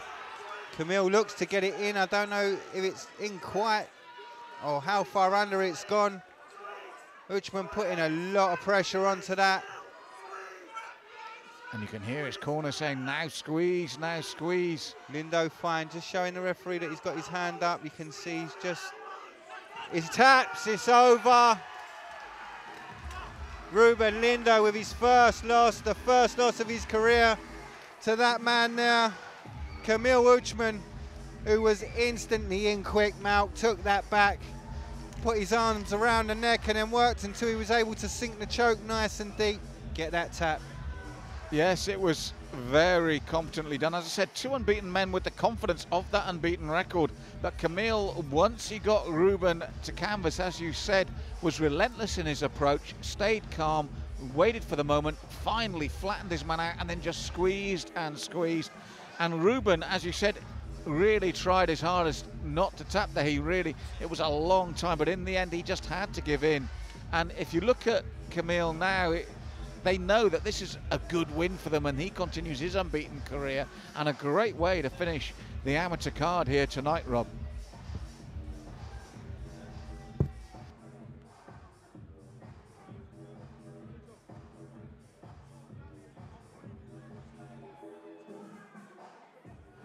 And ladies and gentlemen, show your appreciation for both men, please.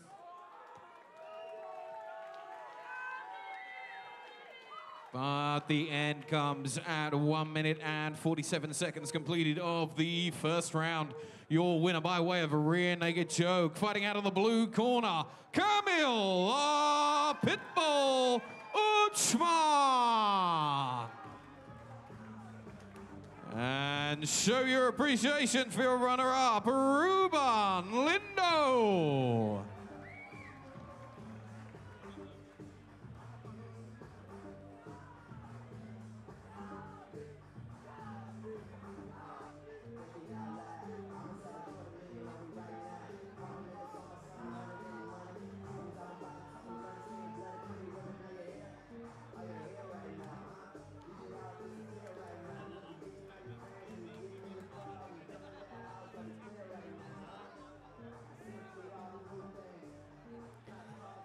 And London, we're now going to have a short 10 minute break. We'll resume the action uh, in about 10 minutes' time, just over.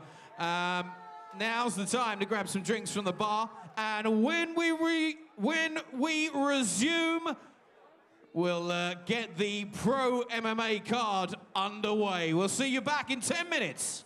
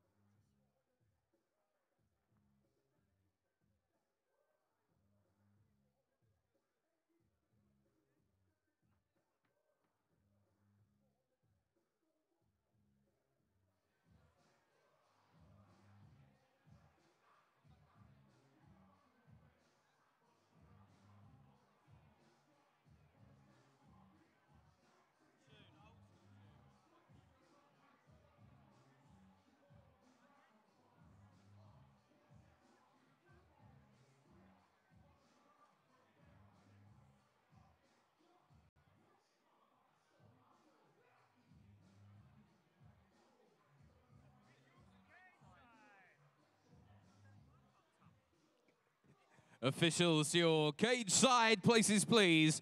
Officials, your cage side places, please. The action's about to resume.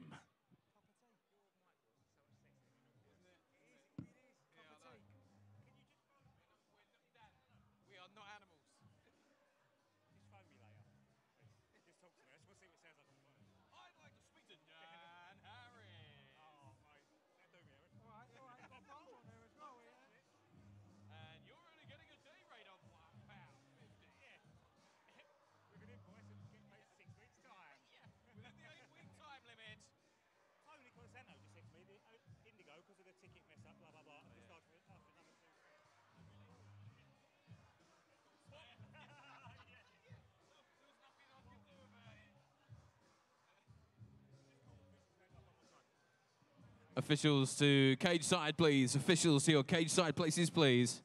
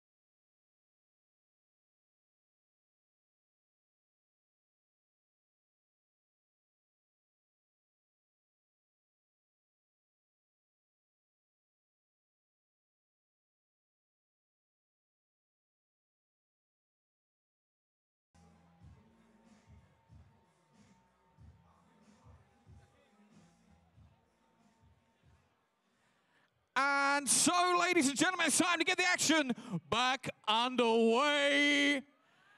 And so, please welcome firstly to the cage in the red corner from Romania, Adrian Valian.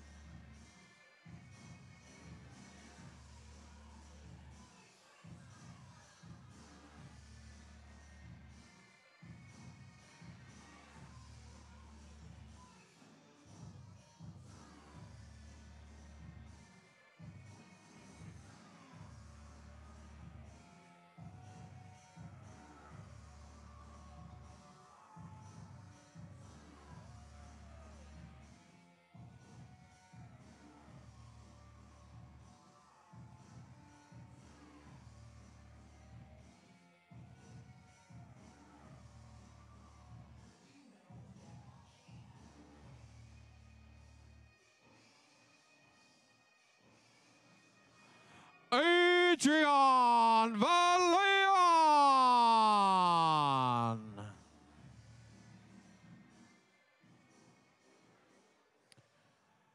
And now, please. welcome to the blue corner from Ghana, Festus Oholu.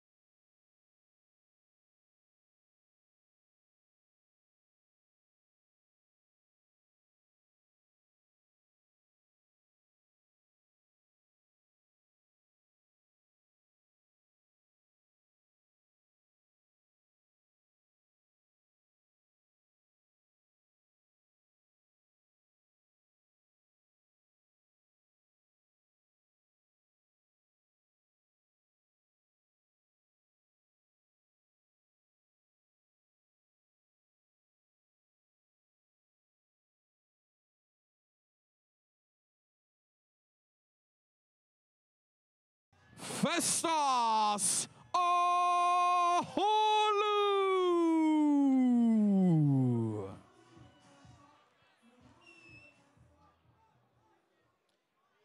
And ladies and gentlemen, this professional MMA rules bout will take place in the featherweight division and will be contested over three five-minute rounds. Introducing to you, firstly, fighting out of the red corner. He's today taking part in his second professional contest, representing Grand MMA from Romania. It's Adrian Valian.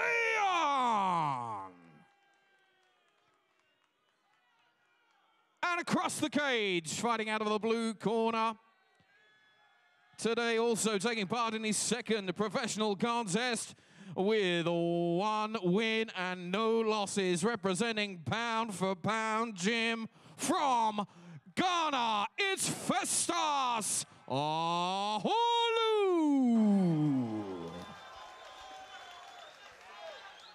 So this fight, Malcolm, the first on our professional card.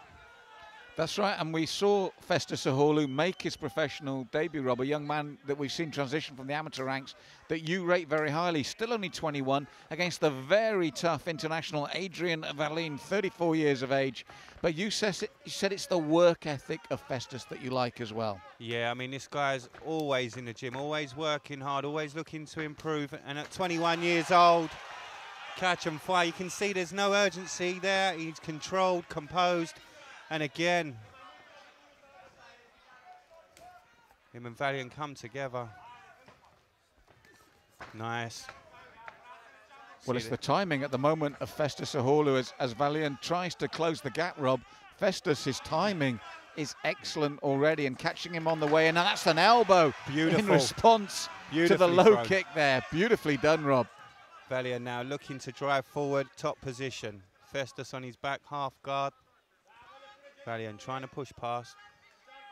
And Valiant a very, very dangerous opponent on the floor. Very good ground game. Can see bases well. And again, you look at the age difference 34 years of age. Festus still growing into his man weight here. Adrian. beautifully. Sorry, Malcolm made a wonderful transition. Went one way, let Valiant go with it, and then went the other. Beautiful work. And it's that maturity, that old head on young shoulders with Festus, and a real exciting prospect here in the professional ranks. I said we were here for his professional debut, which he won. An exciting young fighter that's only going to get better with this experience on the big stage.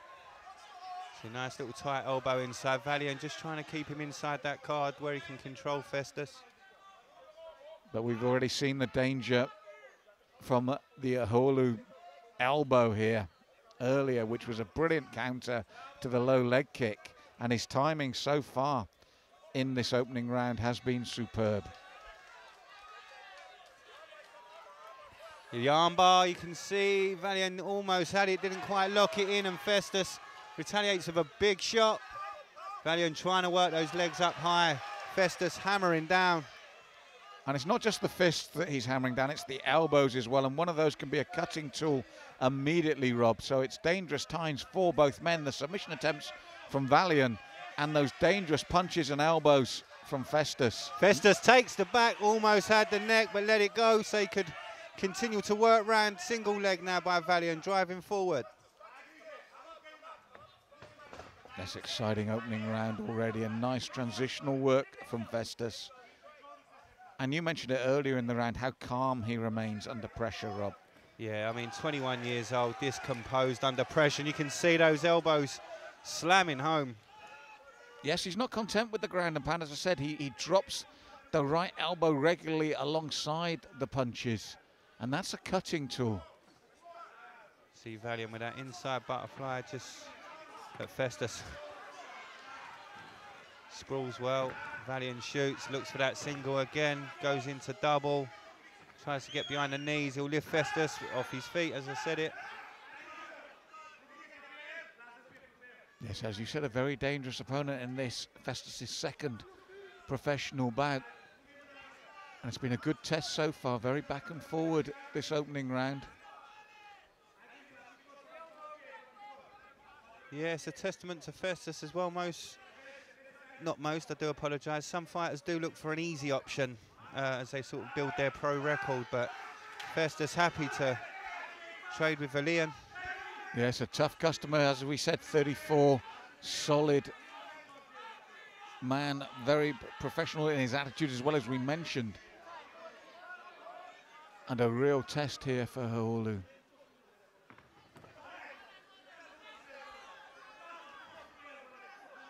Valiant postures up. Trying to find room, but again, Festus very good defensively, not allowing Valiant to really get anything dangerous off. Yes, the movement of Festus, very mobile young man. You see again here, always working the angles. Look at this, Rob. Beautiful, Beautiful. escape. Beautiful. Beautiful. Presence of mind to know your position when you're scrambling like that.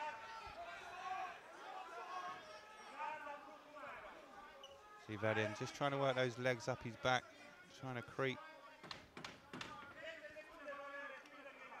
Well, for a, a professional five-minute round, that has flown by this opening round, Rob. He certainly has. The pace set by these two men has been incredible, and they've both had their moments. I mean, overall, the the, the eye-catching stuff you would say is with Festus, but Verline's had that real professional attitude, gone about his job, looked for the moments. He's worked hard off his back, look for the takedowns. I would still err in favour of the blue corner, but it's a really dangerous match for him. Yeah, it's a tough fight. I mean, Valiant's very dangerous. You see on the ground there. I favoured Festus in the stand-up. You could see Festus very tidy. But when it went to canvas, Valiant very dangerous. Kept Festus busy.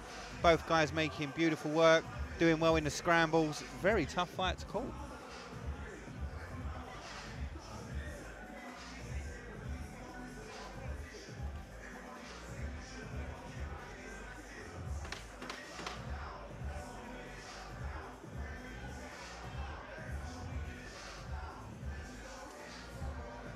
So round two of three coming up.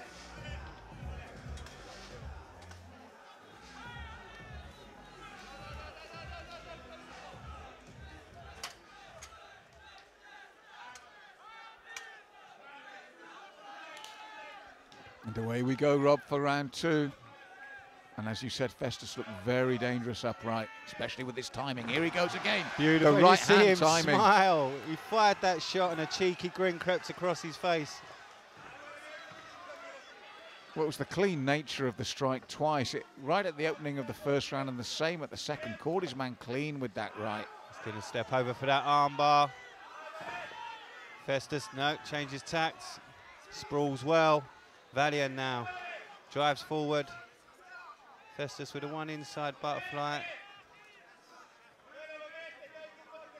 But this is what we said about Valian. He's always busy as well. Very strong and good position there, Rob. Worked that well. Yeah, he went straight through the guard, straight into mount. Festus covers up.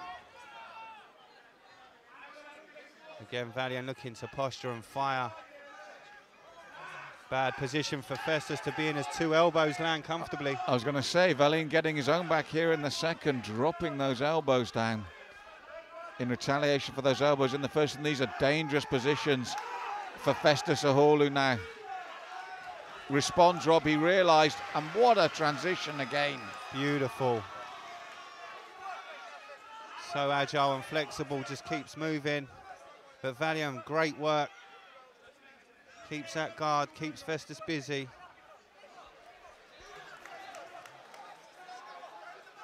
And Festus just waits for Valian to stand up. Both fighters still looking great condition. Valian looks for that takedown, tries to get the hip toss, doesn't quite get it. Festus slips out and moves into mount position. I think Valian's very wary of the upright skills of Festus, and this has cost him here. He wanted to get in close. He did not want to engage in the stand-up, but it's come off in positional terms second best when he looked to take Festus to ground. Festus looking to work the back. Changes again.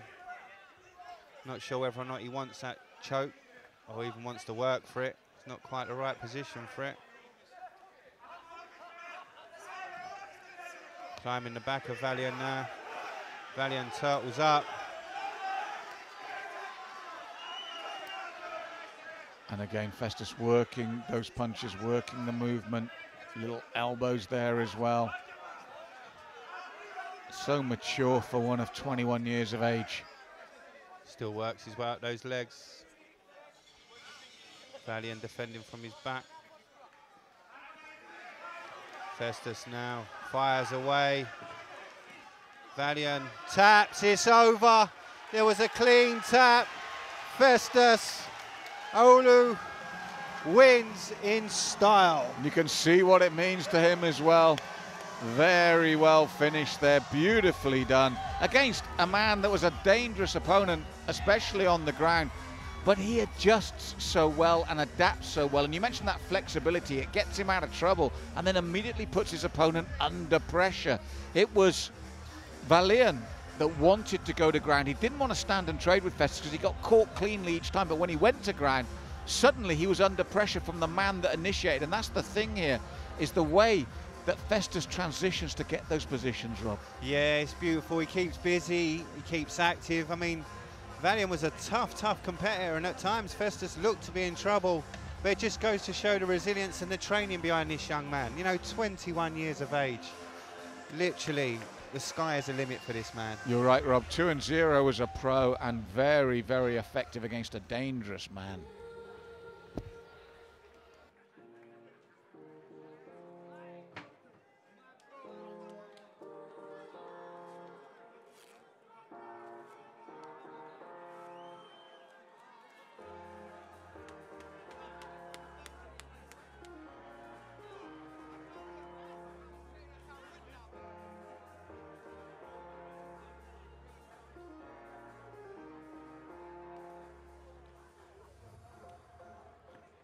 Ladies and gentlemen, show your appreciation for both men, please. And the end comes at 2 minutes and 59 seconds completed of the second round. Your winner by way of TKO fighting out of the blue corner, Festus Aholu.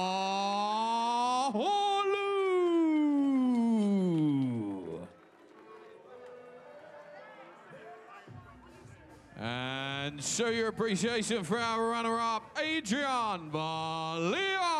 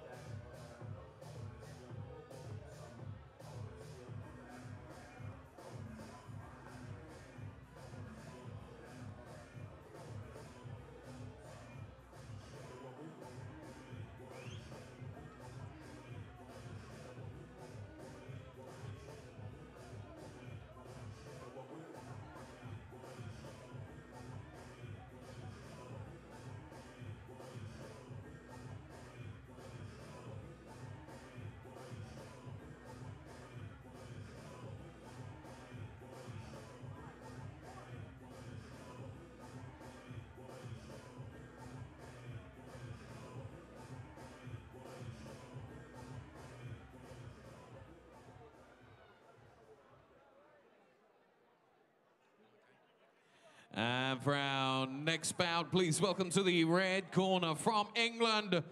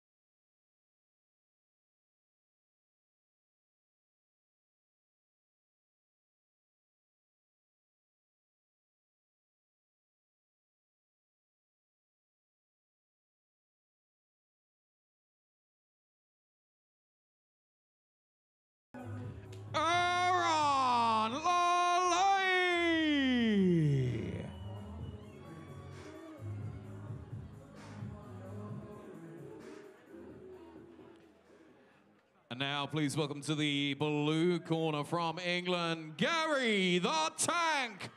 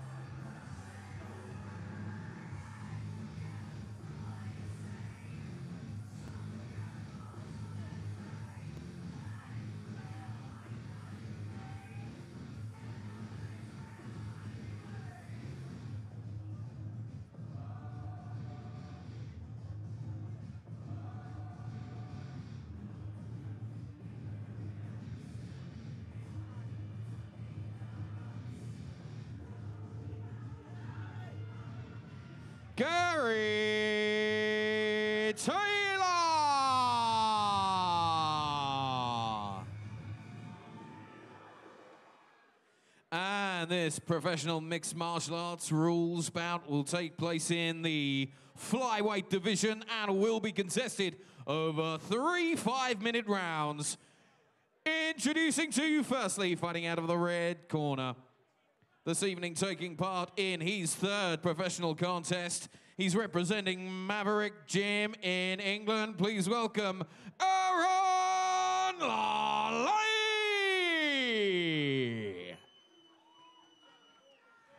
And across the cage, fighting out of the blue corner.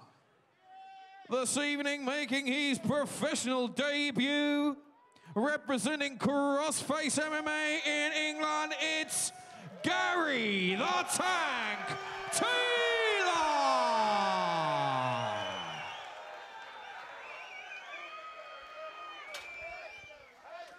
So Rob making his professional debut, Gary Taylor, Team Crossface, Dave Lee in the corner there. We've commentated on numerous times against Aaron Lele, who's had two professional fights as we move into our big professional card tonight.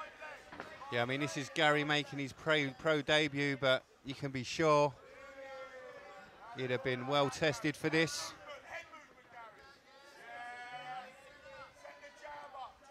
Well, Aaron Lele looking to stay in the pocket and throw that jab sweetly. Testing Gary upright at the moment. I like the movement from both guys, both in and out of range very nicely. It's good work. Valet shoots, gets that takedown. Yeah, it was good timing from Aaron. Kept it upright. Looked to be working with Gary and then went for the shoot. And we've seen tonight the importance of setting up that shoot to maximize your impact and minimize the damage on the way. And we've seen earlier with the amateurs who are less experienced getting caught on the way and when they've just shot without any sort of setup. I thought Lele was very patient there, Rob. Yeah, it was good work by Lele to get that takedown, but Taylor just wrapping him up nicely. He's locked the door on a closed guard. And he's right in his own corner. He can listen to Dave Lee, who is talking continuously to him from this position. I think he's doing a pretty good job of tying Aaron up here, preventing damage. Those short little left hands, and he's rectifying that as well, keeping it in close and tight. But Taylor, it looks as though he's had a little He's cut, cut, though, Rob. eye, You're right. He's cut over that eye. That left hand has done the damage to the right eye.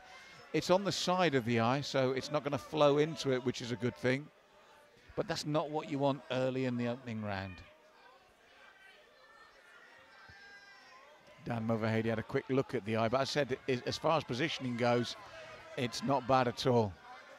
Lele trying to step through. Holds his position well. Taylor trying to work the rubber guard. Brings that leg up, but changes.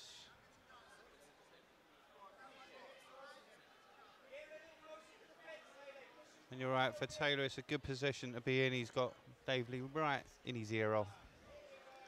That's right. As I said, the cut's unfortunate, but as far as cuts go, it's not in a dangerous position.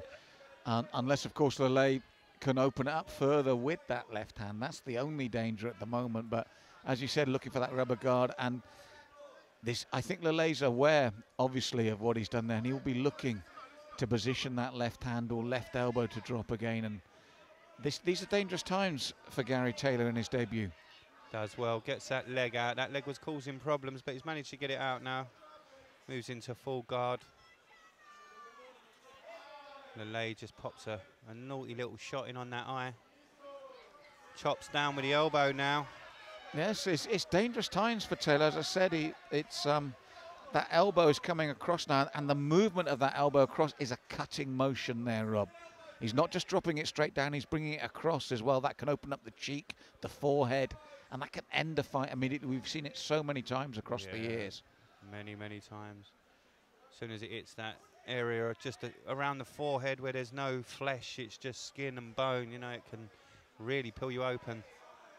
And Lele's doing a very good job. He's taking his time, he's patient, but he's being hurtful with these shots when he gets the freedom to throw them. And this is again, it just shows the difference in the program when you can bring these strikes in from the elbow here. Devastating if they land properly. Referee Dan Movahedi breaks them up. Back to their feet.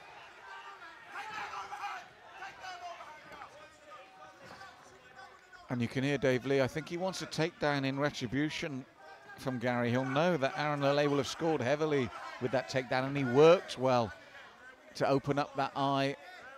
So we need a big finish from Taylor in the side this last 40 seconds now. Yeah, Taylor moving well. Good hands. Lele, that long jab. Taylor Look for the little uppercut as well there, Rob, as it was coming through. So he's still a very dangerous opponent stood in front of Gary Taylor. And I think with the last 20 seconds of the opening round and that knee as well, Lele will have said, well, I think I've got this opening round. And he's got a good shout for it. Yeah, I don't disagree with that at all. I think that's a, a fair assessment. I think looking at it from a judge's perspective, you can see how it would favour Lele. End of the first.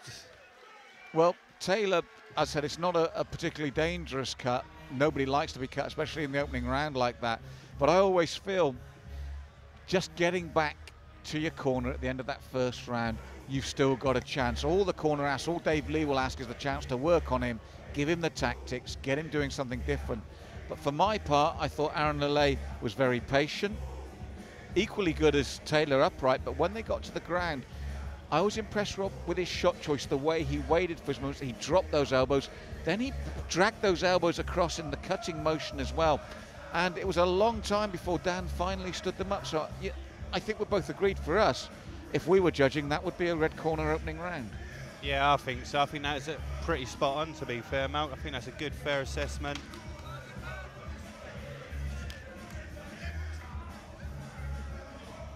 Now, Gary, for his part, will have got those first round nerves out of his system. I mean, we know it won't be his first bout, but your first pro bout, it says something. He'll have got those first round nerves out of the way. He'll have talked to his corner. Let's see how he adapts now for this, the second of potentially three rounds.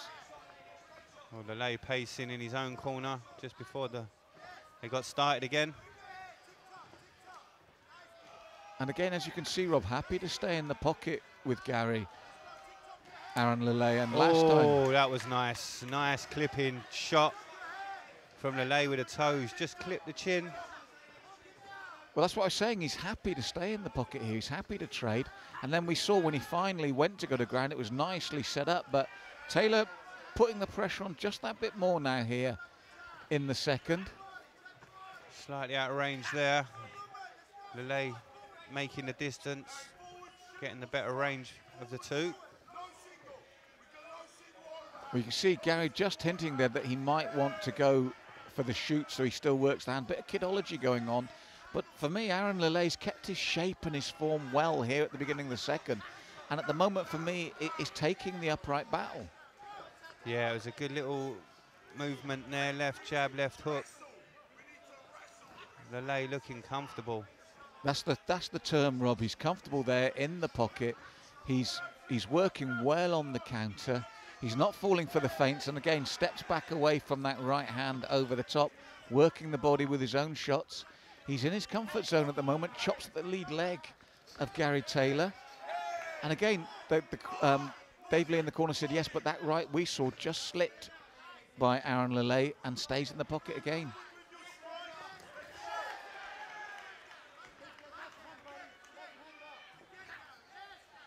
Taylor clipping left up.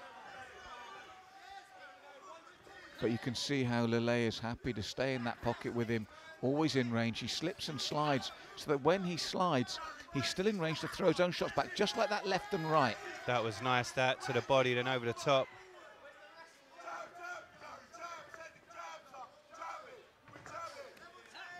And again, at the moment, he's he's anticipating well what Taylor's going to throw. And again, it was his timing. And these, for me, are key moments for judges when you look at the upright.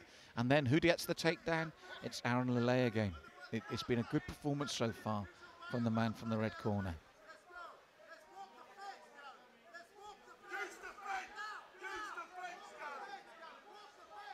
You can hear Taylor's corner frustrated. Lele able to dominate. Yeah, they're screaming at him to walk the fence, walk the fence, but Lele is not allowing that. This is again another solid dominant position, Rob. Good work by Lele, just postures up nicely. Uses that one hand. And when he frees the hand, he drops the elbow, either vertically or as said in that sword-like movement to cut out that can cut you open. And we're inside the last two minutes again, and, and really Gary Taylor needs a big two minutes here. Lele grinding performance just gets on top.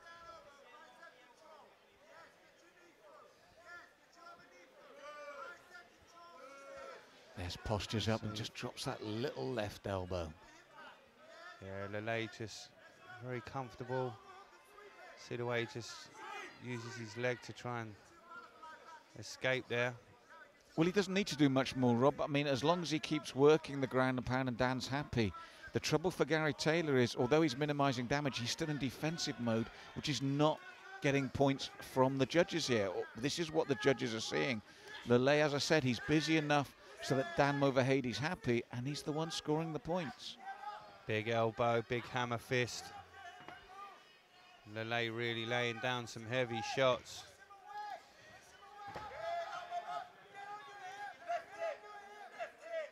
And again, it's been a tough second round for Gary Taylor in this his pro debut.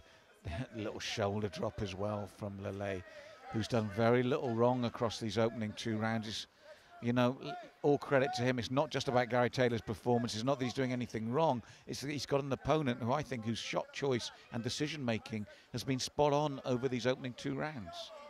Yeah, he's definitely controlling and dominant and making life miserable for Taylor as he fires elbows and hammer fists. Referee looking on closely. And again, it's important with the timing inside that last 30 seconds. He's telling the judges as he looks to trap that hand, almost got the crucifix there, Aaron Lele. And it's a strong finish to the second round as well. Here for the man in the red corner. Looking for that guillotine on the bell. Yeah, a very dominant round for Lele. I mean, I don't know how else we can put that. It was, he pretty much dominated it from the outset. He kept control. He never really looked in too much trouble. Good performance. Well, that was the thing, Rob. You, you, you're right there. And for me, what was key was that he dictated the pace where and when. He was happy to stand and trade with Gary Taylor and didn't look out of place. But then at a certain point in the round, he says, right, let's go to ground. And when he did, he was totally dominant. So you, you, you, as a judge, you're looking. The stand-up, they're both pretty even, but Lele's still catching your eye. He takes the shoot, lands it, and then is in total control. And that was the difference for me. Yeah, I think, you know, again, that's a fair assessment, Malcolm. It's Taylor's got to do a lot of work in this round. He's got to pull it out of the bag, but standing in front of him is that very tough man. And Gary Taylor's corner actually said, This is where we go now. This is where we go to work. They know he needs a big third round and, and almost certainly a stoppage. Mutual respect that we always love to see. And there they go, straight into it. Gary knows he needs to push the pace in this round. There's no sitting back. He needs to land cleanly, Rob, and Lele knows that. And so he did the right thing. Why risk it as he did in the second round when he was happy to stand and trade? Why risk that one clean shot clipping you when you've been so dominant on the ground? For me, this has been the difference between the two men. Aaron Lele has allowed his has shown ways to make sure that his game plan works, and he's doing it again now. All the time that Gary Taylor has to work to get out of this position, he's not scoring points. That's right. And of course, Dan Movahedi looking on closely. Lele literally just has to keep moving, keep throwing shots, hold his position, and he'll pick up the W. And and I think again, very smart tactics. He's been very good in this position, and the variety of his work, which we're now seeing the knees added to that arsenal, and. Taylor needs a sense of urgency, and you can see him trying to get out now. But the more he's having to fight defensively, the less he's taking the round, and this is a nightmare for him. It- and I repeat, it's not that he's done anything wrong; it's been the tactics of his opponent. Definitely. I mean, even there you can see he's trying to scramble to his feet, trying to fight his way up, but he's finding it very difficult. Lele with good weight distribution, just controlling him from this position. And as you said, just showing Dan Movahedi enough to stay down there, letting that left hand loose when he gets the opportunity. We've seen him drop the knees. And then we've seen the short downward or chopping elbows as well. And it'll be so frustrating for Gary Taylor at the end of these three rounds in his professional debut. You can see Lele just dropping those nasty little elbows. And like you say, Melky hasn't got to throw huge, big bombs. He's just got to control this for another few minutes. You can hear Taylor's corner calling for him to get up, but again, Lele just hooks the leg, rolls him back. And again, everybody knows what he needs to do, but tiredness fitting in as well. And I think Dan Movahedi's seen enough. It's a good call because although he knew what to do, the fatigue, and look at the sportsmanship there of Lele picking his man up, but the fatigue, it's one thing to know what to do, but the constant pressure, the fatigue setting in, he wasn't in a position to do that. And I think that's a brilliant call from Dan Movahedi. You said yourself they weren't really hurtful, but they were cumulative now, weren't they, Rob? They were, and I mean, it, you know, it's a silly thing to say, but if you're getting slammed in the face with an elbow like that, we have to look after your safety first. You know, it's and yeah, he might have covered up, and only 60% of it might have been. It doesn't matter. You know, at the end of the day, these fighters have got to fight another day. And that, for us, as I said, without the stoppage, was a controlling performance from Aaron Lele. Not the debut that Gary Taylor would have wanted, but a very slick performance from your winner in the red corner.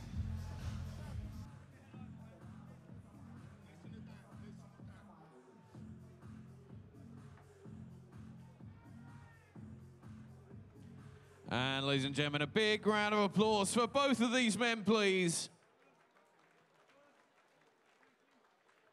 And with two minutes and 21 seconds completed of the third round, your winner by way of TKO fighting out of the red corner, Aaron Lele.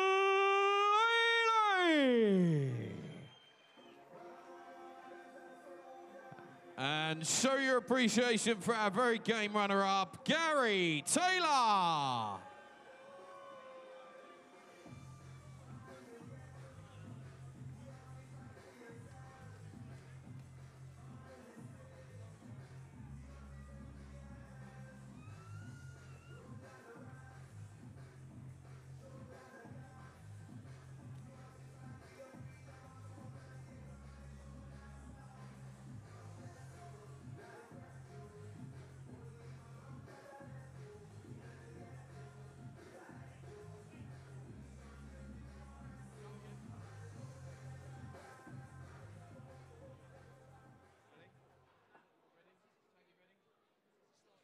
And now, please welcome to the red corner from Ireland, Mickey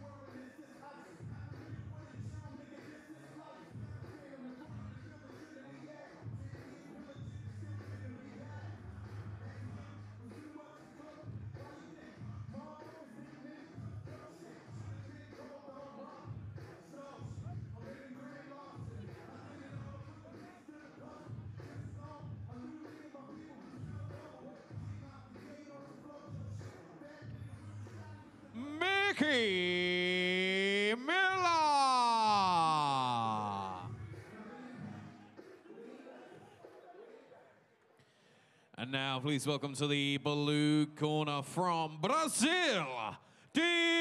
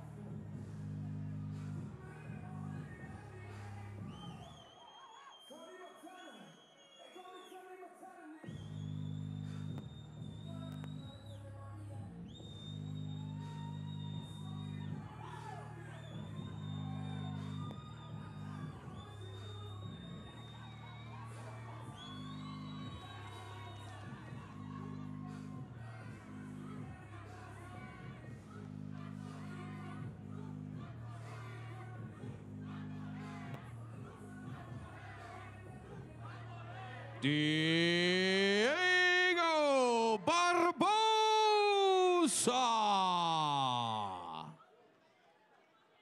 And ladies and gentlemen, this professional MMA rules bout will take place in the lightweight division and will be contested over three five-minute rounds. Introducing to you, firstly, fighting out of the red corner tonight in his ninth professional contest from Ireland. Make some noise for Mickey Miller.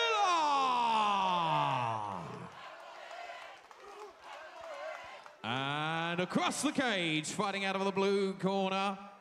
He brings a record of four wins with only two defeats. He's representing Nova Força from the beautiful country of Brazil.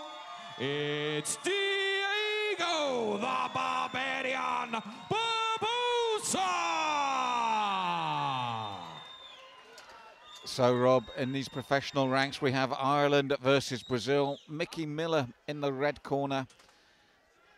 Diego Barbosa in the blue. And we're getting to the stage where we're getting those more experienced professionals coming into the cage now. This looks to be quite an exciting match. Mickey Miller can hit very hard. Yes, we've commentated on, on Mickey before, and as you said, he can hit hard. He likes to mix it, likes to get into a war. He's got good hands, good movement. Barbosa, good combination. Well, he just waited for, for Miller to commit and come into the range, and it was very sharp response, just like that again. Tie up high. Miller looking to swim in. Doesn't quite get the Barbosa good knee to the body.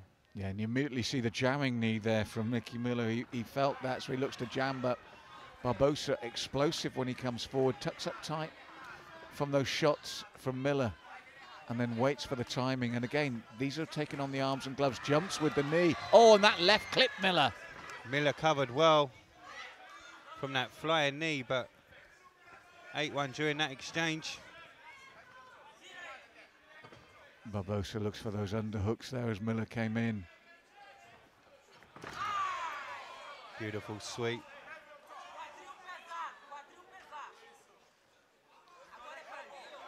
And Miller will be under pressure here now. Rob from Barbosa drops those hammer fists, turtles up, gets the back. Barbosa firing away, nasty elbows. And again, when you're when you're in this position like that, Miller, when you have to defend those elbows or Rear give up your naked back, choke is on Malk. It's in deep. Miller taps. It's over. that's what I was just about to say, Rob. I was going to say it's a no-win situation if you don't defend. The elbows blast in. If you do defend, you're set up for the rear naked choke. He was in a no-win situation there. From the moment Barbosa got that position, and as you said, the moment he started throwing in the elbows, you defend the elbows, you're susceptible to the choke. You worry about the choke, you take the elbows. That was danger from the moment it happened. And Barbosa, once he got the opportunity, we could see how quickly and how solidly that rear naked was sunk in. It went on fast. Mickey didn't have much opportunity to defend it. To be fair, Barbosa very slick in that. The way that he set it on and the way that he tightened it up, beautiful work.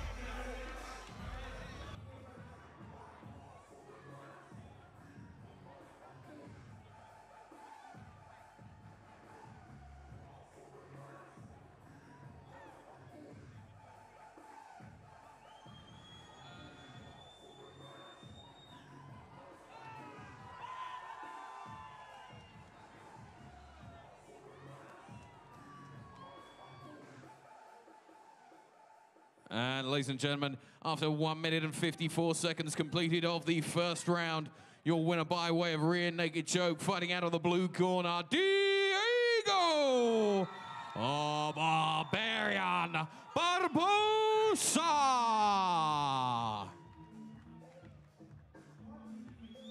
And show your appreciation for our runner-up, Mickey Miller.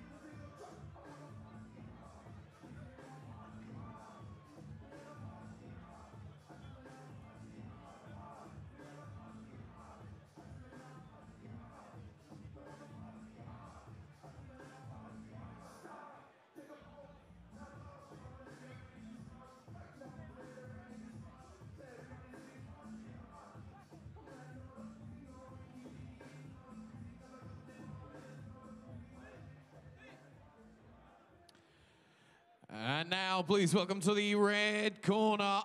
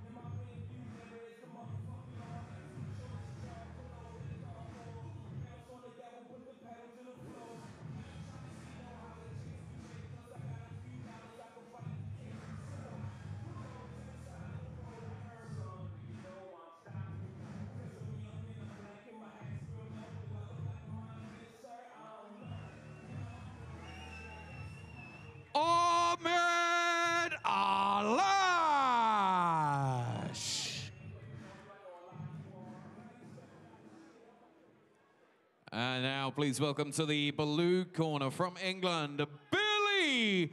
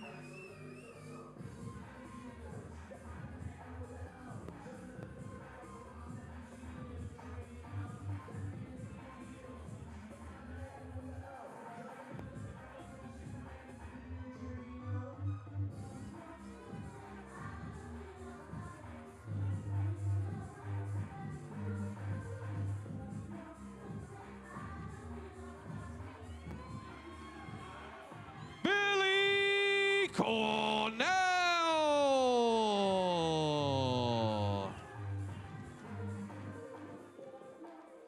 And this professional MMA rules bout will take place in the lightweight division over three five-minute rounds.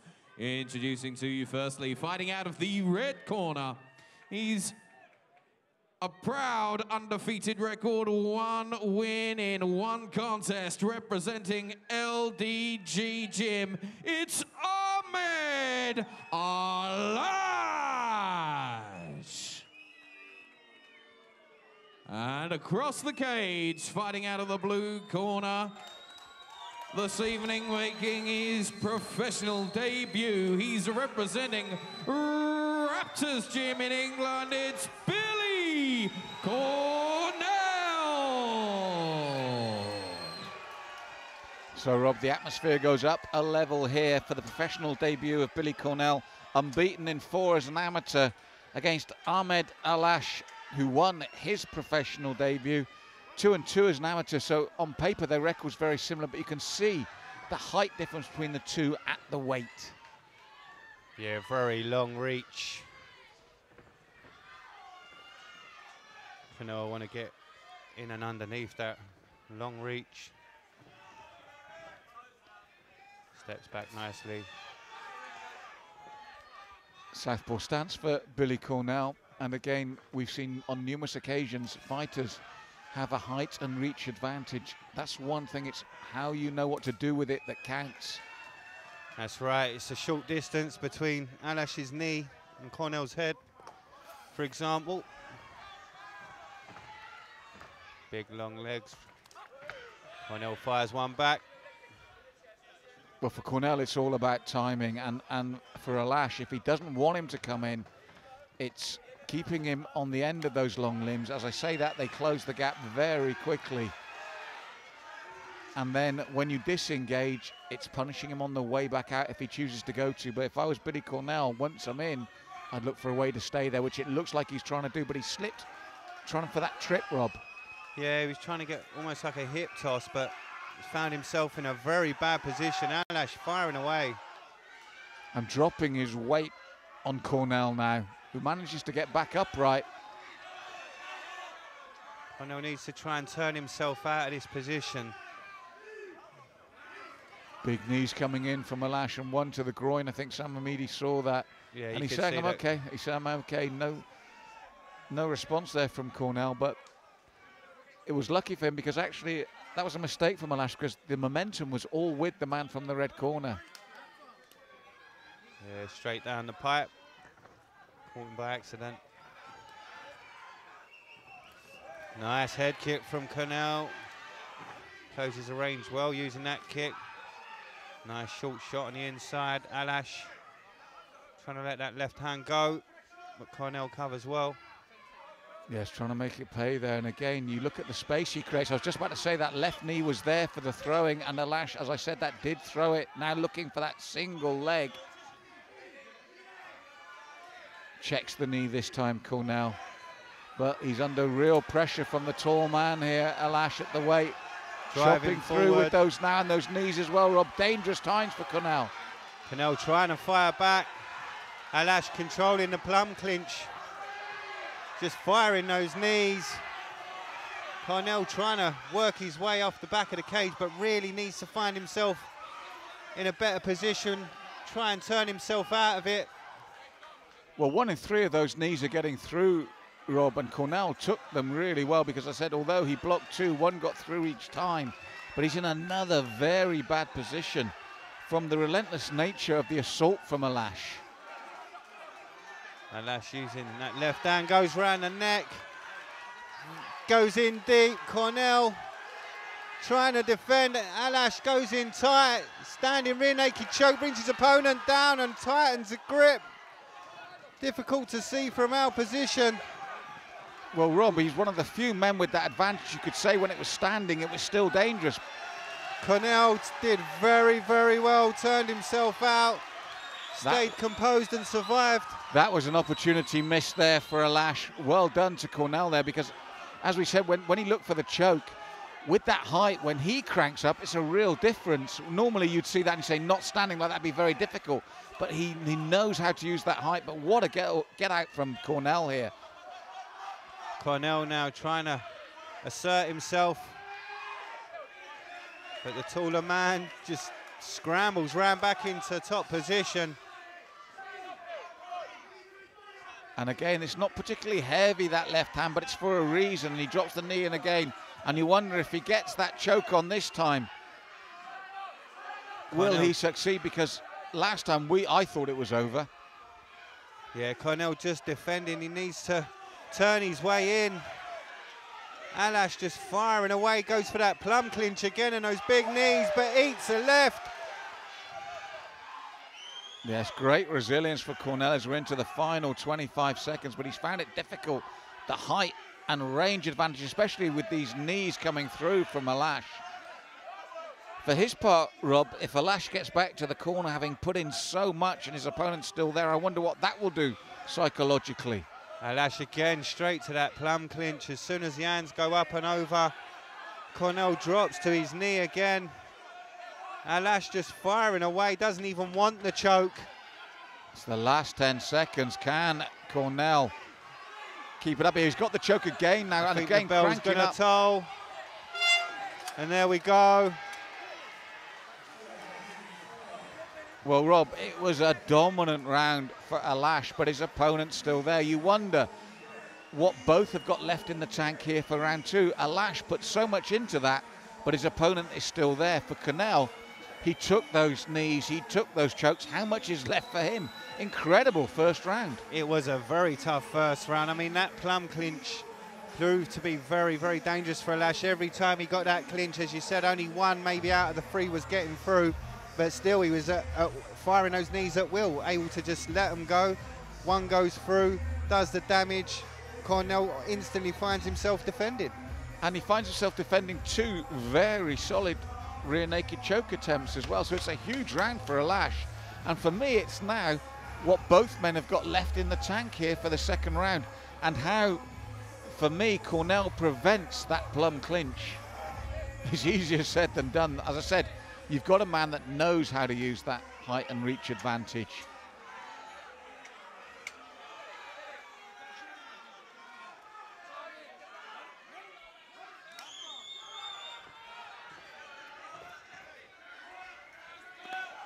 So it's a low kick from Cornell, followed by a high kick. But Alash driving forward, using that range, as you said, Mount. But Cornell trying to get those bombs. That's his one opportunity to land cleanly and double the impact as Alash comes in. Beautiful work. The guillotine looks to be in. Cornell with a nice deep He's guillotine. He's, He's tapped. tapped. He's, He's tapped. tapped. It's over. Cornell wins. Wow. And you can see Alash dazed from that guillotine. Bleeding Wow. as well. What a turnaround, Rob. What an absolute turnaround. Cornell in absolute trouble throughout the entire first round.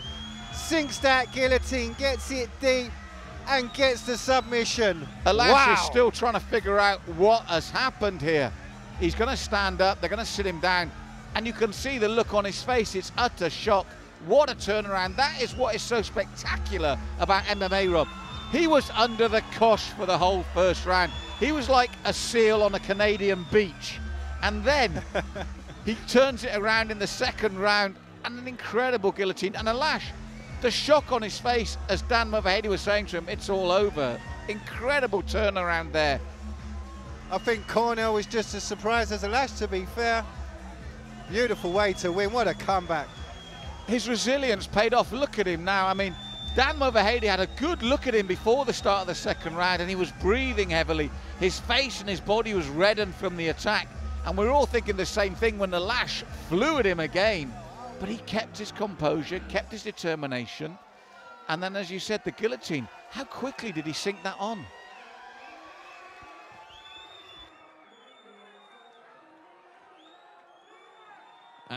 And ladies and gentlemen, after 28 seconds completed of the second round, your winner by way of guillotine choke, fighting out of the blue corner, Billy Cornell.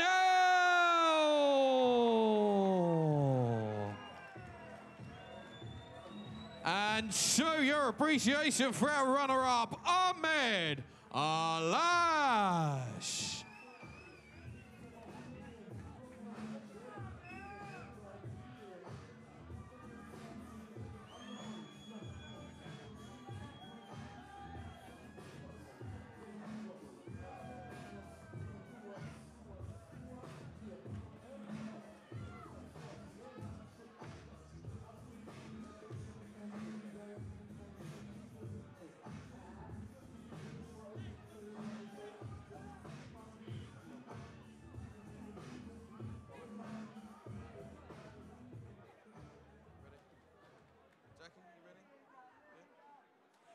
And now, ladies and gentlemen, please welcome to the red corner, Jazz Singh.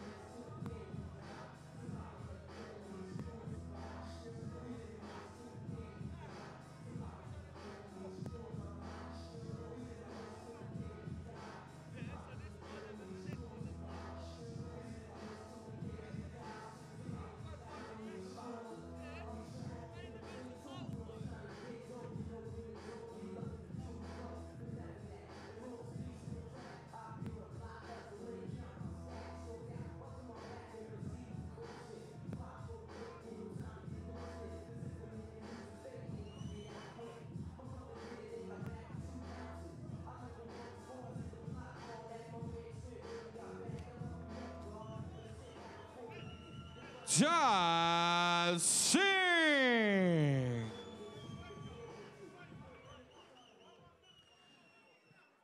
And now, please welcome to the blue corner from Haslemere, Surrey,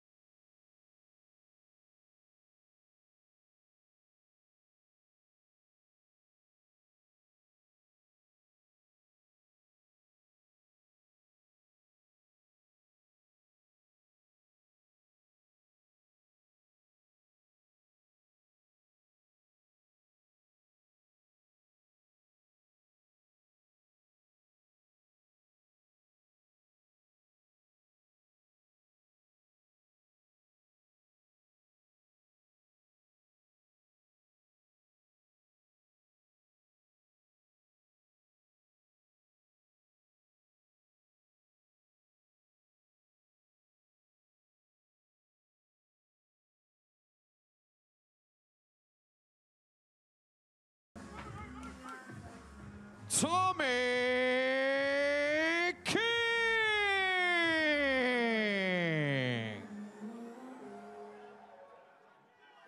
And ladies and gentlemen, this professional MMA rules bout will take place in the welterweight division over three five-minute rounds. Introducing to you firstly, fighting out of the red corner. This evening, making his professional debut, he's representing Crossface Gym in England. It's Jazz Singh. And across the cage, fighting out of the blue corner, he's brings a record of one win and one defeat, representing Team King from Haslemere, Surrey. It's Tommy King.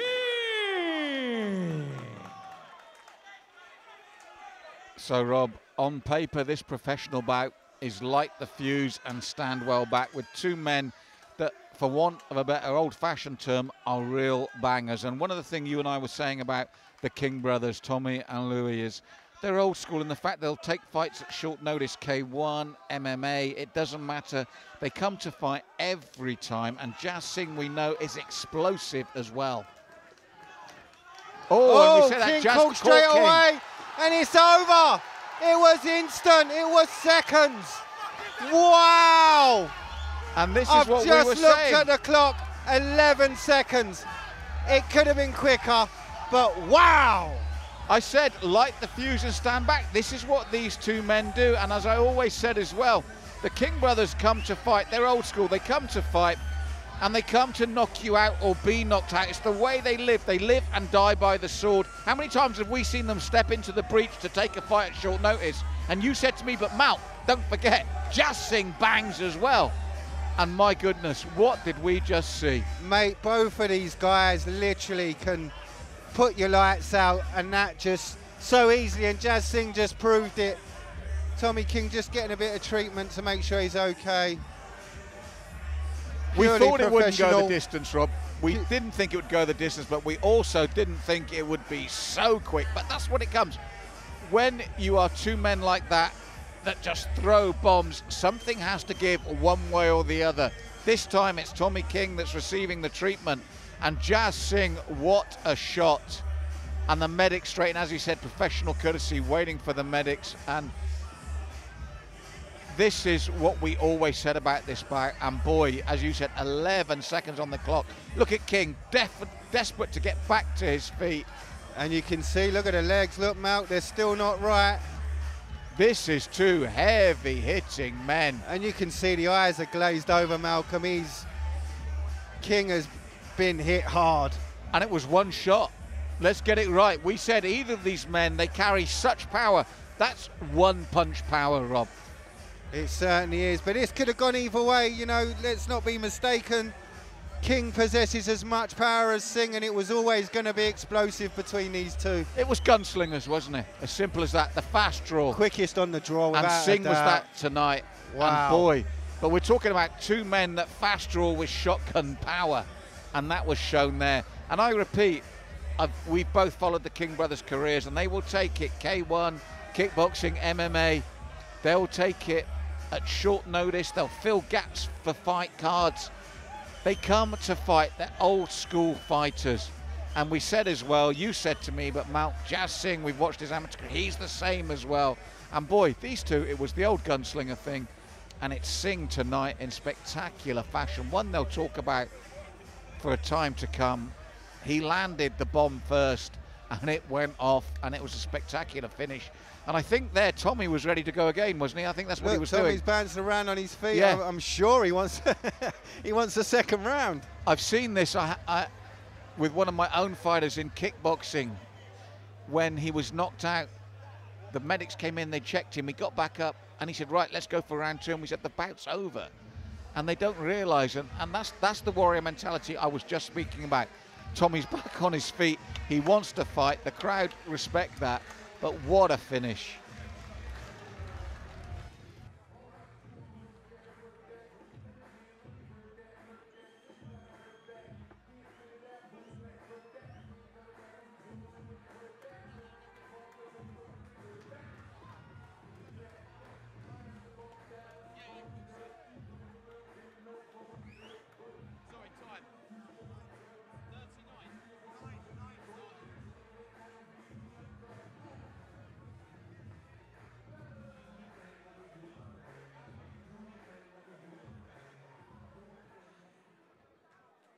And ladies and gentlemen, the your winner after nine seconds completed of the first round, your winner by way of knockout, fighting out of the red corner, Jazz Singh.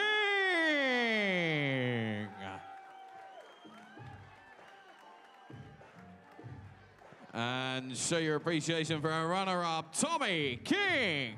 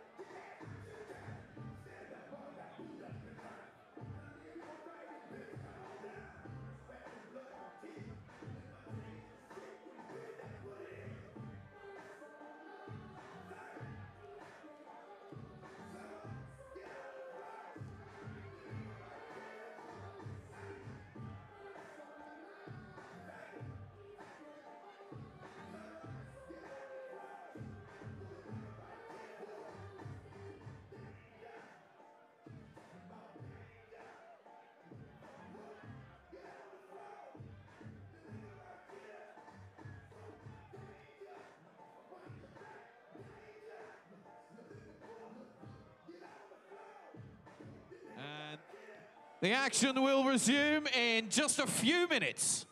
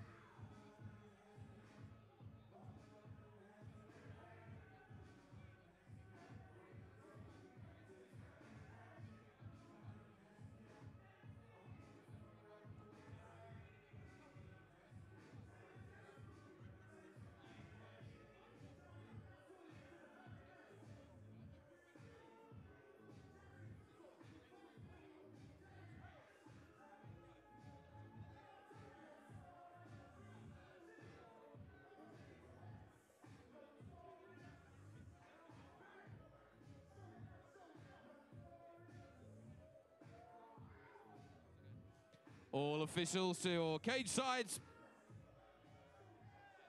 All officials to your cage side places, please. Officials to your cage side places, please.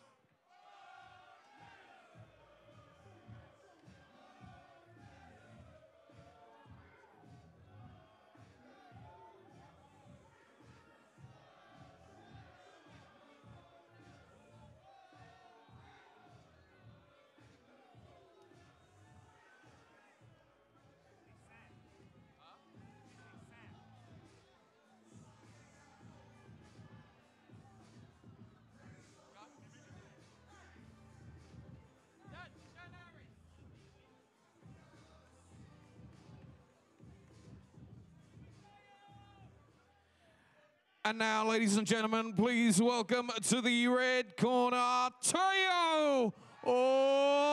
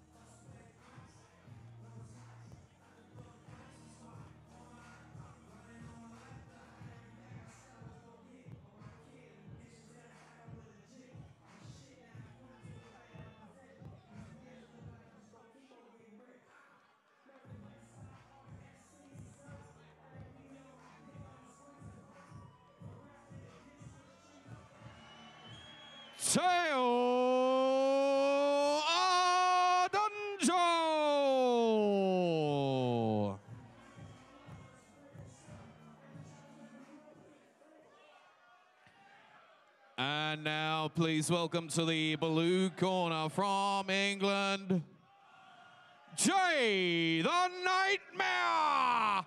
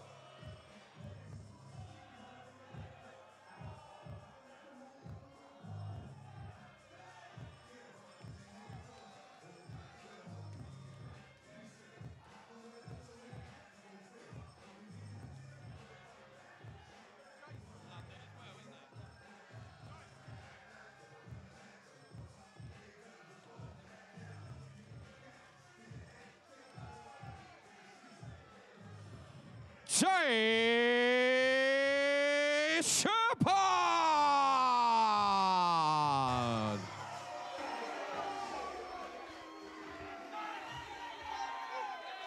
And ladies and gentlemen, this professional MMA rules bout will take place in the welterweight division over three five-minute rounds. Introducing to you firstly, fighting out of the red corner. This evening, he's making his professional debut in the cage. He's representing Revolution Gym and the Roger Gracie Academy from London, England. It's Teo Odunjo.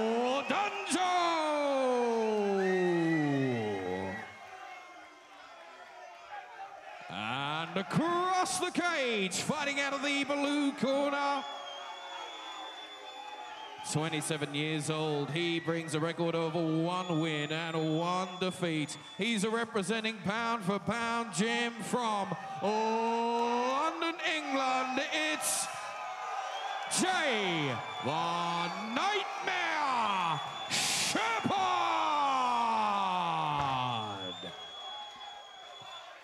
Rob, the atmosphere is through the roof now. Teo Odunjo making his professional debut.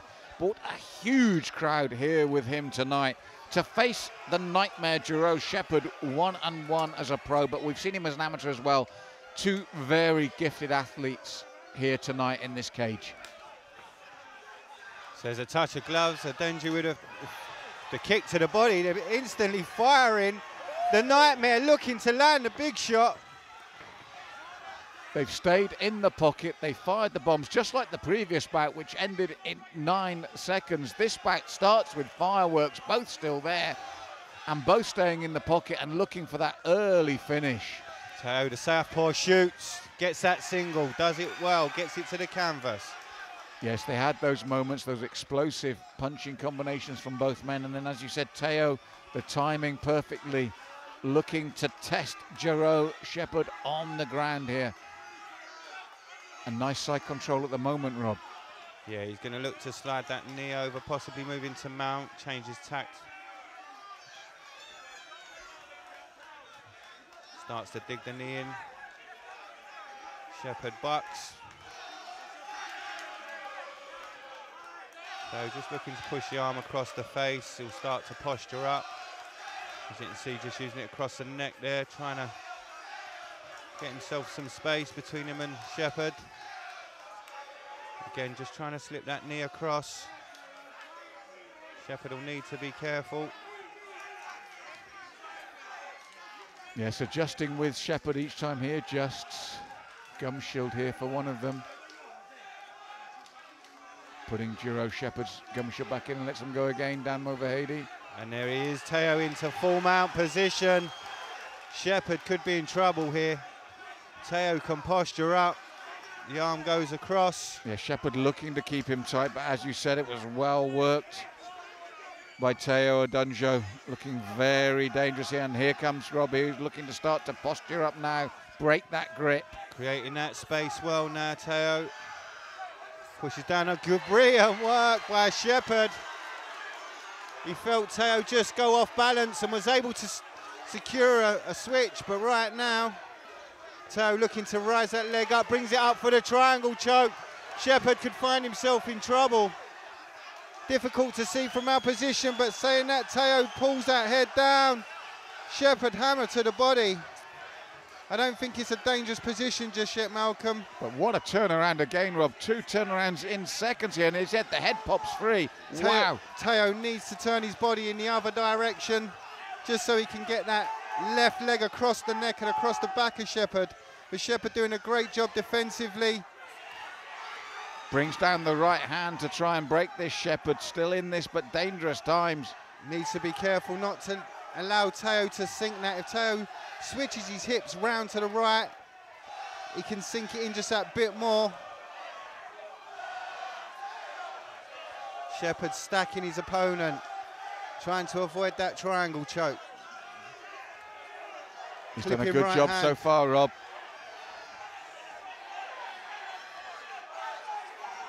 Shepherd in the triangle choke. Teo looking to stretch his opponent out, trying to bring him in tight. Pulls that head down. Shepherd rolls and bucks. Teo now top position, looking to stretch the arm out. The arm bar's there, but Teo switches back into the triangle. Dangerous times for Shepherd trying everything in the book here to prevent this. And a- Shepherd. an adjustment from technique from Teo, and it's over. Teo Adunju gets the victory with a triangle. And it was a case of just tweaking the technique. It was there for a while. It's just a case of positioning, getting it in the right position and making it work for him. Fantastic win for Teo. and a very calculated, calm performance in his professional debut. As we said, against a very dangerous man, Rob. And yet, once he was in position, he stayed calm, composed, and relentless in his pursuit of that triangle. Yeah, it was great work. He got it on. Maybe had it on for a bit too long. There were opportunities where he could have finished it earlier, Malcolm, but I'm sure him and his team will sit back. They'll watch this fight. They'll play through. It was a great win, but they'll also play through, you know, the errors that you make during a fight. You review it. You look at it. What did I do? What could I have done better? And I'm sure both these fighters are going to look at this tape. And there's plenty they could have done differently. But right now, Teo Fighters to the centre, Adunju, please. Fighters to the centre. the victor in this battle.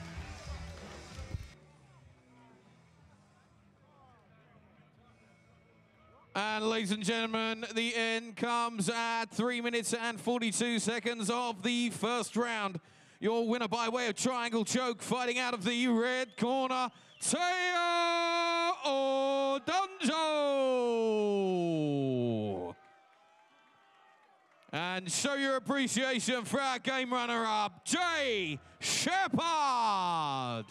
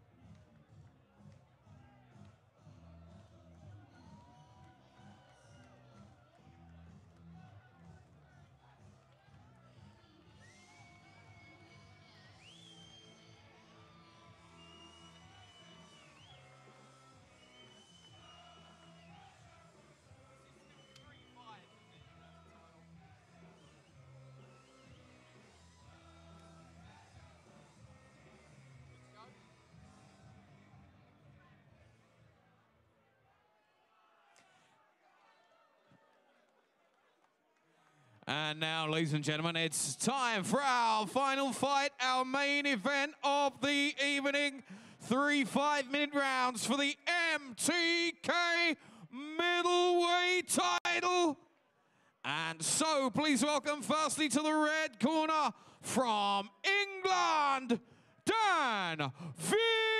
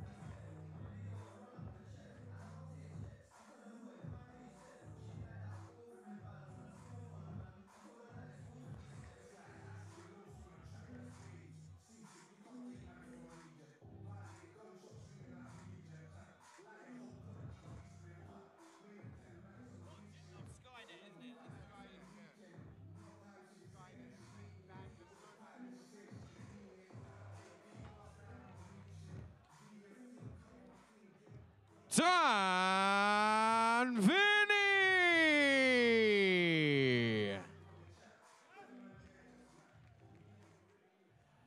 And please welcome to the blue corner from France, Patrick Dexter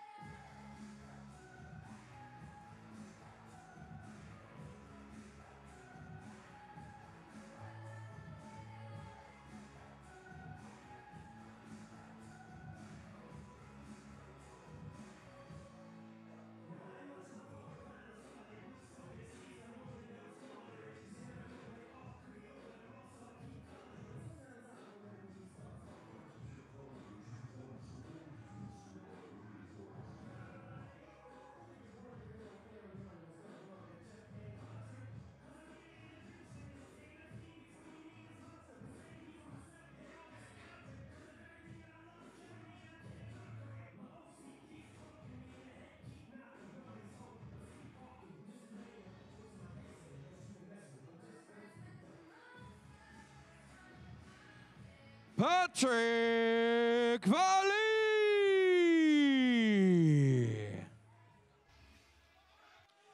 And so, London, this is it. Our main event, our final fight of the evening.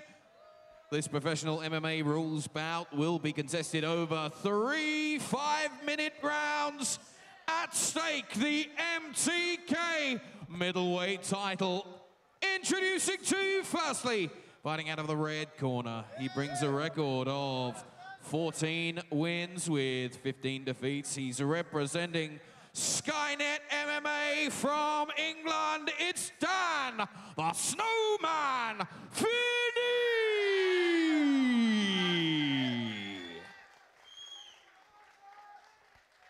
And across the cage, fighting out of the blue corner, he brings a record of 11 wins with 10 defeats and one draw. He's from France, where he's known as Dexter. It's Patrick Valley.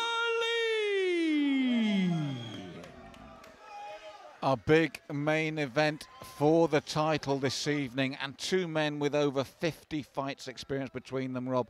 And as you said, a wonderful contrast of styles between Dan Finney and Patrick Valet. Yeah, Dan uh, fought literally, I think it was about six, maybe eight weeks ago in Vietnam. He had a, a I believe it was a Thai boxing fight. He competes in jiu-jitsu, he competes in MMA. Very, very active competitor. And across the cage, you've got Patrick Valet. He's got Jack Mason, Paul Daly, Jake Bostwick as previous opponents. You know, this guy's been in there with the who's who. Well, I was there for the Bostwick fight, and it was one of those fights where everybody said, Oh, you should have seen that. It really did live up to the hype. They were absolutely at each other for the three rounds. He is a tough, durable customer and still in incredible shape at 38 years of age. That's right, the Parisian fighter. Still looking in good shape as he closes the distance. Finney looking to use those elbows. But Vele, beautiful, beautiful switch.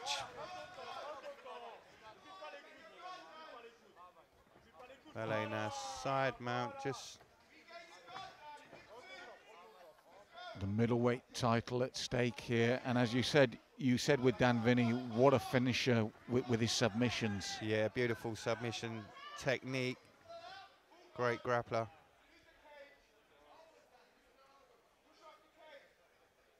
But then Patrick as well also has submissions on his record. Big shot.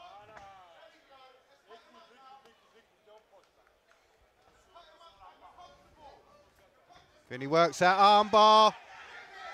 Valet picks him up, tries to spike him, but the arm is still there. Finney's got the armbar, he's stretching Valet out. He looks to be on nice and tight. Valet tries to turn. Finney with the arm, still keeps it locked in. Dan Finney with the arm locked in tight. Valet not submitting to this. As I said, he's a tough, tough custom, customer valet. Dan Finney keeps turning, keeps twisting, doesn't get it. Valet refusing to tap. Wow. That's what I said, Rob. He is such a durable customer, the Frenchman. And Finney keeping hold of that arm, still working it, still tries to get it. Rolls with his opponent, stretches the arm out nice and straight. The hands raised. Valet trying to escape. Finney just reefing that arm. As you said, the and hand look, you can raised see the hyperextension. Look at that, Mount. Unbelievable You can stuff see here, Rob. what has he got to do to get Patrick to tap. He and there it is. finally. Wow. It looked like Patrick's arm was going to come off. Rob, you said that Dan Finney was a submission specialist. He showed that there. He latched in. I mean, most guys, look at the, what it means to him winning this middleweight title. Most guys would have tapped earlier. That was what Patrick Valet brought to the title, that warrior spirit. And as you said, watching the extension there was quite frightening. But Dan, he knew what he was doing from the moment he hit the deck there, didn't he? He did. I mean, he had that arm, and you could see, you know, with credit to Patrick, most people would have tapped a lot sooner, a lot earlier. Dan Finney, wow. The and Rob, you can see what it means to him. Look, he, he emotionally he's so overcome against, as we said, two very experienced campaigners. Excellent names on the record. You look at, as we said, the names you mentioned on Valet's record. There's a man with no fear taking on such heavy hitters as Mason, Bostwick, and Daly. But he came up against a different type of competitor tonight. That's right, a very slick, very smooth operator in Dan Finney. Like I said, this guy's an active competitor in, in all forms of combat sport. Did really well, done a great job. Gets that arm, rolls with it, keeps hold of it, keeps it locked in, gets the tap. And he gets the title as well, and you can see how much it meant to him. Valet, as I said, always comes very durable. But this time, he's really met his match in Dan Finney, who will take this title. And ladies and gentlemen, a big round of applause for both of these men, please. But, ladies and gentlemen, the end comes at 2 minutes and 29 seconds of the first round. Your winner and the MTK middleweight champion, fighting out of the red corner, Dan the Snowman Finney.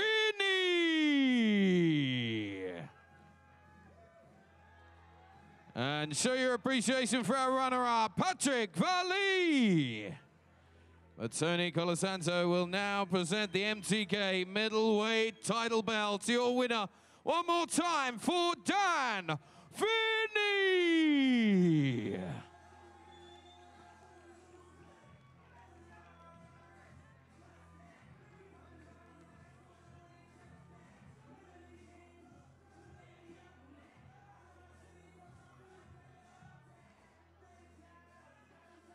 And that concludes this evening's hostilities. Thank you very much for coming out to join us this evening, London. Have a safe journey home.